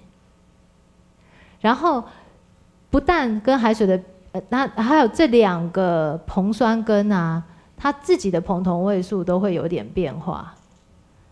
所以，嗯，我们大气中要先有一个基本概念，就是在平衡的状态下，大气的二氧化碳含量啊，跟海水表层它溶在海水表层的二氧化碳会是一致的，在平衡的状态下，然后有二氧化碳溶在海水。它就会造成表层海水的酸碱度的不同，对不对？所以其实中间的关系是根据被有孔虫拿来造壳的硼酸，嗯、呃，或者说顺便拿来造壳的硼酸里面的硼同位素，来呃得知是在怎么样的 pH 值之下形成这个壳，然后那样子的 pH 值，你可以计算出它到底有能力溶多少 CO2 在海水里面。然后我们必须假设，呃，造壳的时候，海水表层的里面溶的二氧化碳跟大气的是成平衡的状态，然后这样来回推。谢谢。然后第二个就是，嗯、我忘记你是说哪一个东西，然后他会把铀抓进去，那那个量不是就跟当时的海洋不一样？然后，而且每一只每个东西把它抓进去的量是不一样的吗？然后。那怎么定年？是这样的，你刚刚说的应该是我在讲珊瑚骨骼化石的时候说的例子。那我会说它跟海水的量不一样，这个目前其实大家不论在生物上或者地质上还没有解释。可是很奇怪的，珊瑚骨骼，你去测每个珊瑚骨骼，它真的就是有差不多二到四 ppm 的铀含量在它的骨骼里面。那这个相对而言比海水来的多很多出很多，所以意思就是说，你拿一小块珊瑚，它可能就有足够的铀让你去分析。可是你可能要好几公升的海水，才会有足够的铀让你做分析。那么至于它到底为什么会这样呢？呃，有人有人认为，嗯，珊瑚无法分辨钙和铀的差别，所以它在造壳的时候会把铀带进来。但是我认为，嗯，这是个太粗浅的说法，我自己现在没有很很明确的解说。可是我必须说，珊瑚这个是特例，很多生物壳都会，诶、很多生物都会造碳酸钙壳，可是只有珊瑚的壳可以有这么高量的铀在里面。然后最奇怪的是，一般即使生物的碳酸钙壳才不知为什么加入了铀，通常后来因为成盐作用啊，或者是说被冲刷、被溶解，它都很容易流失掉。可是看起来在珊瑚里面，它不会有这个问题。那为什么我们知道不会有这个问题呢？因为你可以真的去定年。那刚刚同学比较有问题的是说，诶，到底我在说定年是什么意思？意思就是其实铀啊，我说放射性定年是这样，有放射性的东西，它过了一个半衰期之后，这样讲，我们先讲，它原本叫做母元素，然后它过了某个特定的时间，它会变成另外一个同位素或者另外一个元素，那那个产物我们叫它子元素好了。那么铀，它以我们珊瑚的定年来讲呢，铀二三八的子元素是土二三零。那很奇怪的是，它在它在珊瑚壳体里面，从母元素变成子元素之后，似乎都不太会跟外界交换。所以我们可以根据它累积了多少子元素，或者还剩下多少母元素的这个比值呢，来计算出它到底衰变多久了。意思就是说，它的年纪多老了。因为看起来珊瑚拿了这个铀到体内之后，死掉之后，它就再也不会把它释放出去。所以你可以知道它死了多久，过了多少个半衰期，这个就是它的原理。但是并不是所有的生物壳都有办法这样。那我刚刚也有提到另外一个例子，就是石笋。看起来在石笋里面，假设它有吸取到铀的话，也是类似这样子的情况。可是比较比较麻烦的是，石笋通常它的铀啊，大概会小于一个 ppm，所以量是非常的少。所以意思就是说，你可能需要浪费更多的 sample，呃，更多的标本重量，你才能够收集到足够的母元素和子元素，来测出一个精准的比值。可是，在石笋当中是，嗯，应该说是随机的。它并不是固定一定有铀在里面，毕竟它不是生物。那看起来至少有一派说法是认为珊瑚主动的嗯抓取铀在他的骨骼里。不过两两个 scale 差不多嘛，都在你说都在 ppm 有这么高吗？其实，在石笋里面如果有一个 ppm，就是非常非常幸运的石笋，一般都是测不到或者是。非常非常可是可是珊瑚非常普遍。珊瑚二到四个 ppm 是非常容易的，所以其实是相当好用的一个工具。如如果是这样的话，我会跟你假设，它至少有一部分是化学原因。呃，因为铀的电荷数和它的离子大小是刚好在碳酸钙里头，它可以填充的进去，取代把钙取代了出来。不过因为它们的价数，呃，铀的话通常正三价。不过你正二价也可以，所以正二价如果刚好进去，我我回去查查看，我会假设铀的那个离子大小跟钙的离子大小相差有限，就容易进去。可是如果说你在珊瑚里头找到的是比较大量的，那我认为就可能有有一些生物原因，要不然的话，如果是化学原因的话，应该它的它的度量，那会跟海水差不多。对，它的那个尺尺度应该是，呃，级数应该是一样的。不过硼的部分的话。同位素你也知道，应该只是重量的差别嘛，九和硼九和硼十一，十和十一，那应该还是质量的差别造成的。呃，同位素的话，它对于 pH 值应该是反应是一样的。它对 pH 值的反应一样，可是这两个硼酸根的相对比例，对对对，会不一样。两个不同不同性质，不是都是硼酸啊。李维勋同学，我们大概最后几个问题。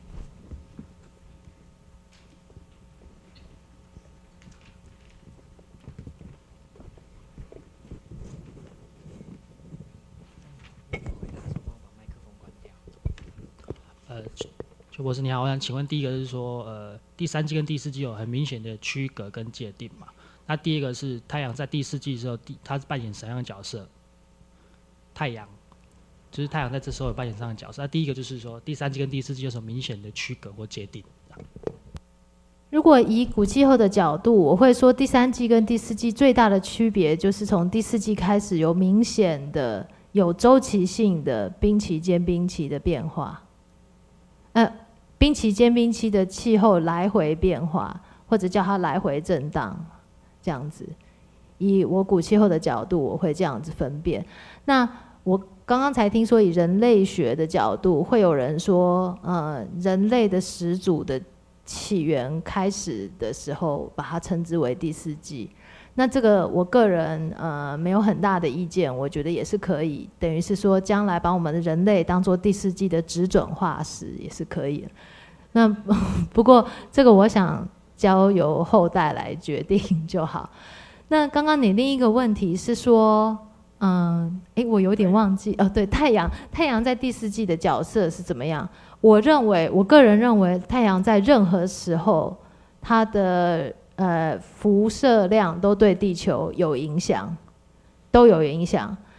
只是在第四季啊，我们地球本身，或许是海陆分布，或许是呃跟生物间的一些回回馈效应的改变，太阳辐射度在这个时候啊，对我们地球的气候系统似乎有呃，等于是说它辐射量改变一点点，我们却非常的敏感，有很大的变化，气候有很大的变化出来。所以其实太阳的辐射度，嗯，我认为啊，在任何时候对我们地球都有影响。但是是我们地球本身的 response，或者是说我们地球本身里面运作的机制和那个等于是说接受到什么样的刺激，然后有发生某种反应的那个速度或者机制有所改变，而使太阳的辐射度在第四季的冰期间冰期变化看起来好像有很大的影响。这是我个人的呃意见。不过其实啊。太阳还有一部分的辐射度啊，这个我刚刚在演讲里面没有讲到，是说其实可以从数轮的记录里面看得相当的清楚。那呃，我相信在过去有一样尺度的变化，好像是差不多十一年的一个 cycle，但是我们没有那么老的数轮记录。还有那么精准的分析可以做这件事情，不过我相信它是任何时刻都存在的的的作用力。这最后一个也是数人的问题，吕老师在哪边？吕金叶老师。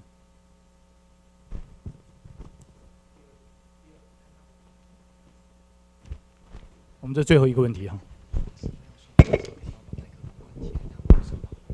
好。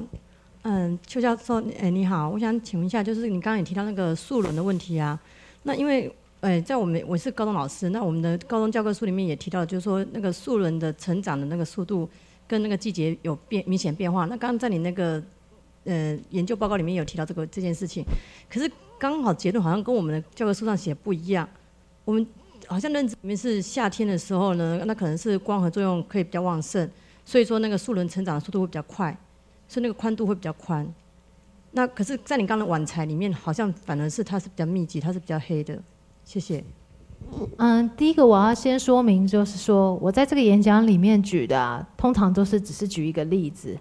那其实树轮，呃，我不是很清楚你说的那个教材。其实不同地方的树轮，它的生长期和停止生长期是有可能不一样的。您知道我的意思吗？就是说，不论它的控制因素是，呃，降雨，或者是温度，或者是日照度，不论是什么，在不同的微小的呃生态圈里面，它会生长和停止生长，或者长得比较慢、长得比较快的季节是有可能不一样。所以，我打个岔，因素是温度，主要因因温呃因素是温度还是水量？在北美干旱的地方，主要因素是水量。可是，在没有干旱的地方，主要因素是温度，是各式各样的因子都会影响，所以我才会说，树人的研究，它必须是在比较严峻的地方，你才做得出研究。等于是说，你必须事先先知道这个环境可能最缺水，或者最缺日照度。虽然我不是树轮的专家，可是我可以保证，你如果在一个呃森林的正中央，温度、湿度、日照度、光合作用完全没有任何问题，CO2 也足够，日光也足够，你绝对非常非常难找到控制树轮宽度或者生长速率的因素。我打一个岔，吕老师，你的意思好像有一点说，密度大约比较松，颜色比较淡，和密度比较深，呃，密度比较密。颜色比较深的，是指这一种的吗？这个有这个这个是 general pattern 吗？这个是颜色大概的深浅，呃，其实密度的大小。大概颜色讲颜色其实有点奇怪，就是比较深色的地方就是比较致密的地方，应该说生长速率慢就会比较致密啊。对啊，所以生长速度慢比较致密。那通常我们的认知，像刚魏教授也在这边，那我不晓得说，就是应该是我记得没错，应该是龙腾的教科书里面有提到这件事情，就是说生长比较致密，那代表是它天气是比较寒冷，是比较干燥的，所以它生长会比较慢。对啊，那生长比较快的时候，它应该生那生长轮会比较宽，所以是比较温暖，它最后就停止了嘛？它最后就停止了，对不对？它逐渐接近呃夏季、秋季，一到冬季它就停止了。对对，就是说所以那个是有那个季节变化，只是说我们刚刚你你你刚提到早财跟所以比晚财那个较深色的那个部位其实是夏秋的晚财。有没有春季是最适合生长的时候？所以它依照于老师的意思，就是说它看起来比较疏松，然后颜色比较淡，对不对？然后夏秋这两季，所以邱博士，您认逐为说越长就是长得比较慢宽是夏天之前的一个行为，所以等到这个这个生长的一个截止线，刚好就是所谓晚才的一个认知是这样子，是不是？嗯，就是就是你一直在夏天的时候长得比较大，应该说哦，把那我把那个图叫出来好了。我我我来说一下哈，因为刚刚提提到龙腾本了哈，其实那个图是地球科学园地当年台大的研究生周周佩珊的一篇文章。那那个图他有写是晚才，他写夏季，对我看问题来自这边嘛。所以问题是说，那个应该是夏季还是秋季还是冬季这样的问题。那这个就跟刚才邱博士谈的很像。呃，那里只是举个例子。呃，通常那个细胞长得比较大的时候，看起来很宽，颜色比较淡，我们就叫早财。那晚财其实说的就是可能一年的早春到夏，然后后来是什么夏秋冬。但这个这个所谓早财、晚财或春财、夏财、秋财，真的是在每个地方可以不同。会有可能不同，就是看它的生长季节会是什么。那最近我们在台湾其实有一些新的研究啊，顺便做广告，这一期的 Science Nature 刚登出来，台湾的点也有，在我们的呃宜兰的七兰山。啊，那我们在这个研究过程之中，我们在七兰山采到了，譬如说过去六百年来的树心的记录，像刚才邱博士讲的。那我们一直在七兰山用我们自己的气象站的记录来对，来说，哎，我们看到这个树轮的变化，跟我们太平山这边、七兰山这边工作站的记录来对。去找是什么因素来控制到它？它可以是雨量，可以是阳光，可以是呃气温，甚至还有别的因素。因为树会不会长有很多因素。像我们看到的记录里面有个很有趣的地方，大概公元一千四百多年的时候，突然树轮变很宽，但是它是什么因素？森林系的教授关教授说：“这个可能是有些树倒了，它突然阳光比较充分了，懂我意思吗？”然后我们现在回头，这个文章都还没写，我们去找别的资料，觉得恐怕是当年在这个地区很大的土石流啊，或者森林崩毁，让它树打它的成长的空间打开，这就是可以说。现在我我讲的意思，这个因素有非常多，那你必须在每一个地方去找。那我们找太平山，找这个这个啊这边的记录很妙，既然也对不太起来，最后找到什么跟它最有关系呢？西伯利亚高压。那西伯利亚高压跟太平山有什么关系呢？这个这个气候系统里面它有关系，那它可能是一个冬季的现象。这不是刚才回头去讲的，我去定出一个温度或者一个雨量，他找到的真正跟他有关系的是西伯利亚高压的一个什么什么状况。相关的文献刚刚出版的，哥伦比亚大学邱博士毕业的，你的指导教授之一 Cook 他们的理论刚出来，台湾也在这个点上，顺便给报告一下，我们台湾的研究啊，是也有的时候是可以登上。很重要的杂志，很有意义的科学背景的。不过，它那个树人的大的 pattern 还是一深浅一深浅。这个啊，跟不同的树有关。我们最近在台湾做了两年了，我们到呃南投合社台大自有个森林实验站，我们自己去去做很多树心，然后因为那边有记录，我跟各位报告，不是每棵树都有那么漂亮的树轮。我们在显微镜下看，长得都很像，啊。那刚才邱博士也提到，其实很妙的是，我们在研究树轮是要很多棵，年代定好以后，然后呢是要找出它共同的，呃集合的那个统计上的平均，然后再把个别的树去跟那个平均减掉，去看那个不正常的部分。那个不正常的部分是我们要看的东西，是那个噪音的部分，就是 signal，是呃是你的讯号。哦，台湾正正在进行之中。那这个将来的结果会跟刚刚邱博士谈的呃珊瑚，可能就可以有海陆的不同的讯号出来。好，时间到了，事实上比我们预计的晚了一些。那我们。大家热烈鼓掌，谢谢邱博士，好吗？同时也谢谢魏教授。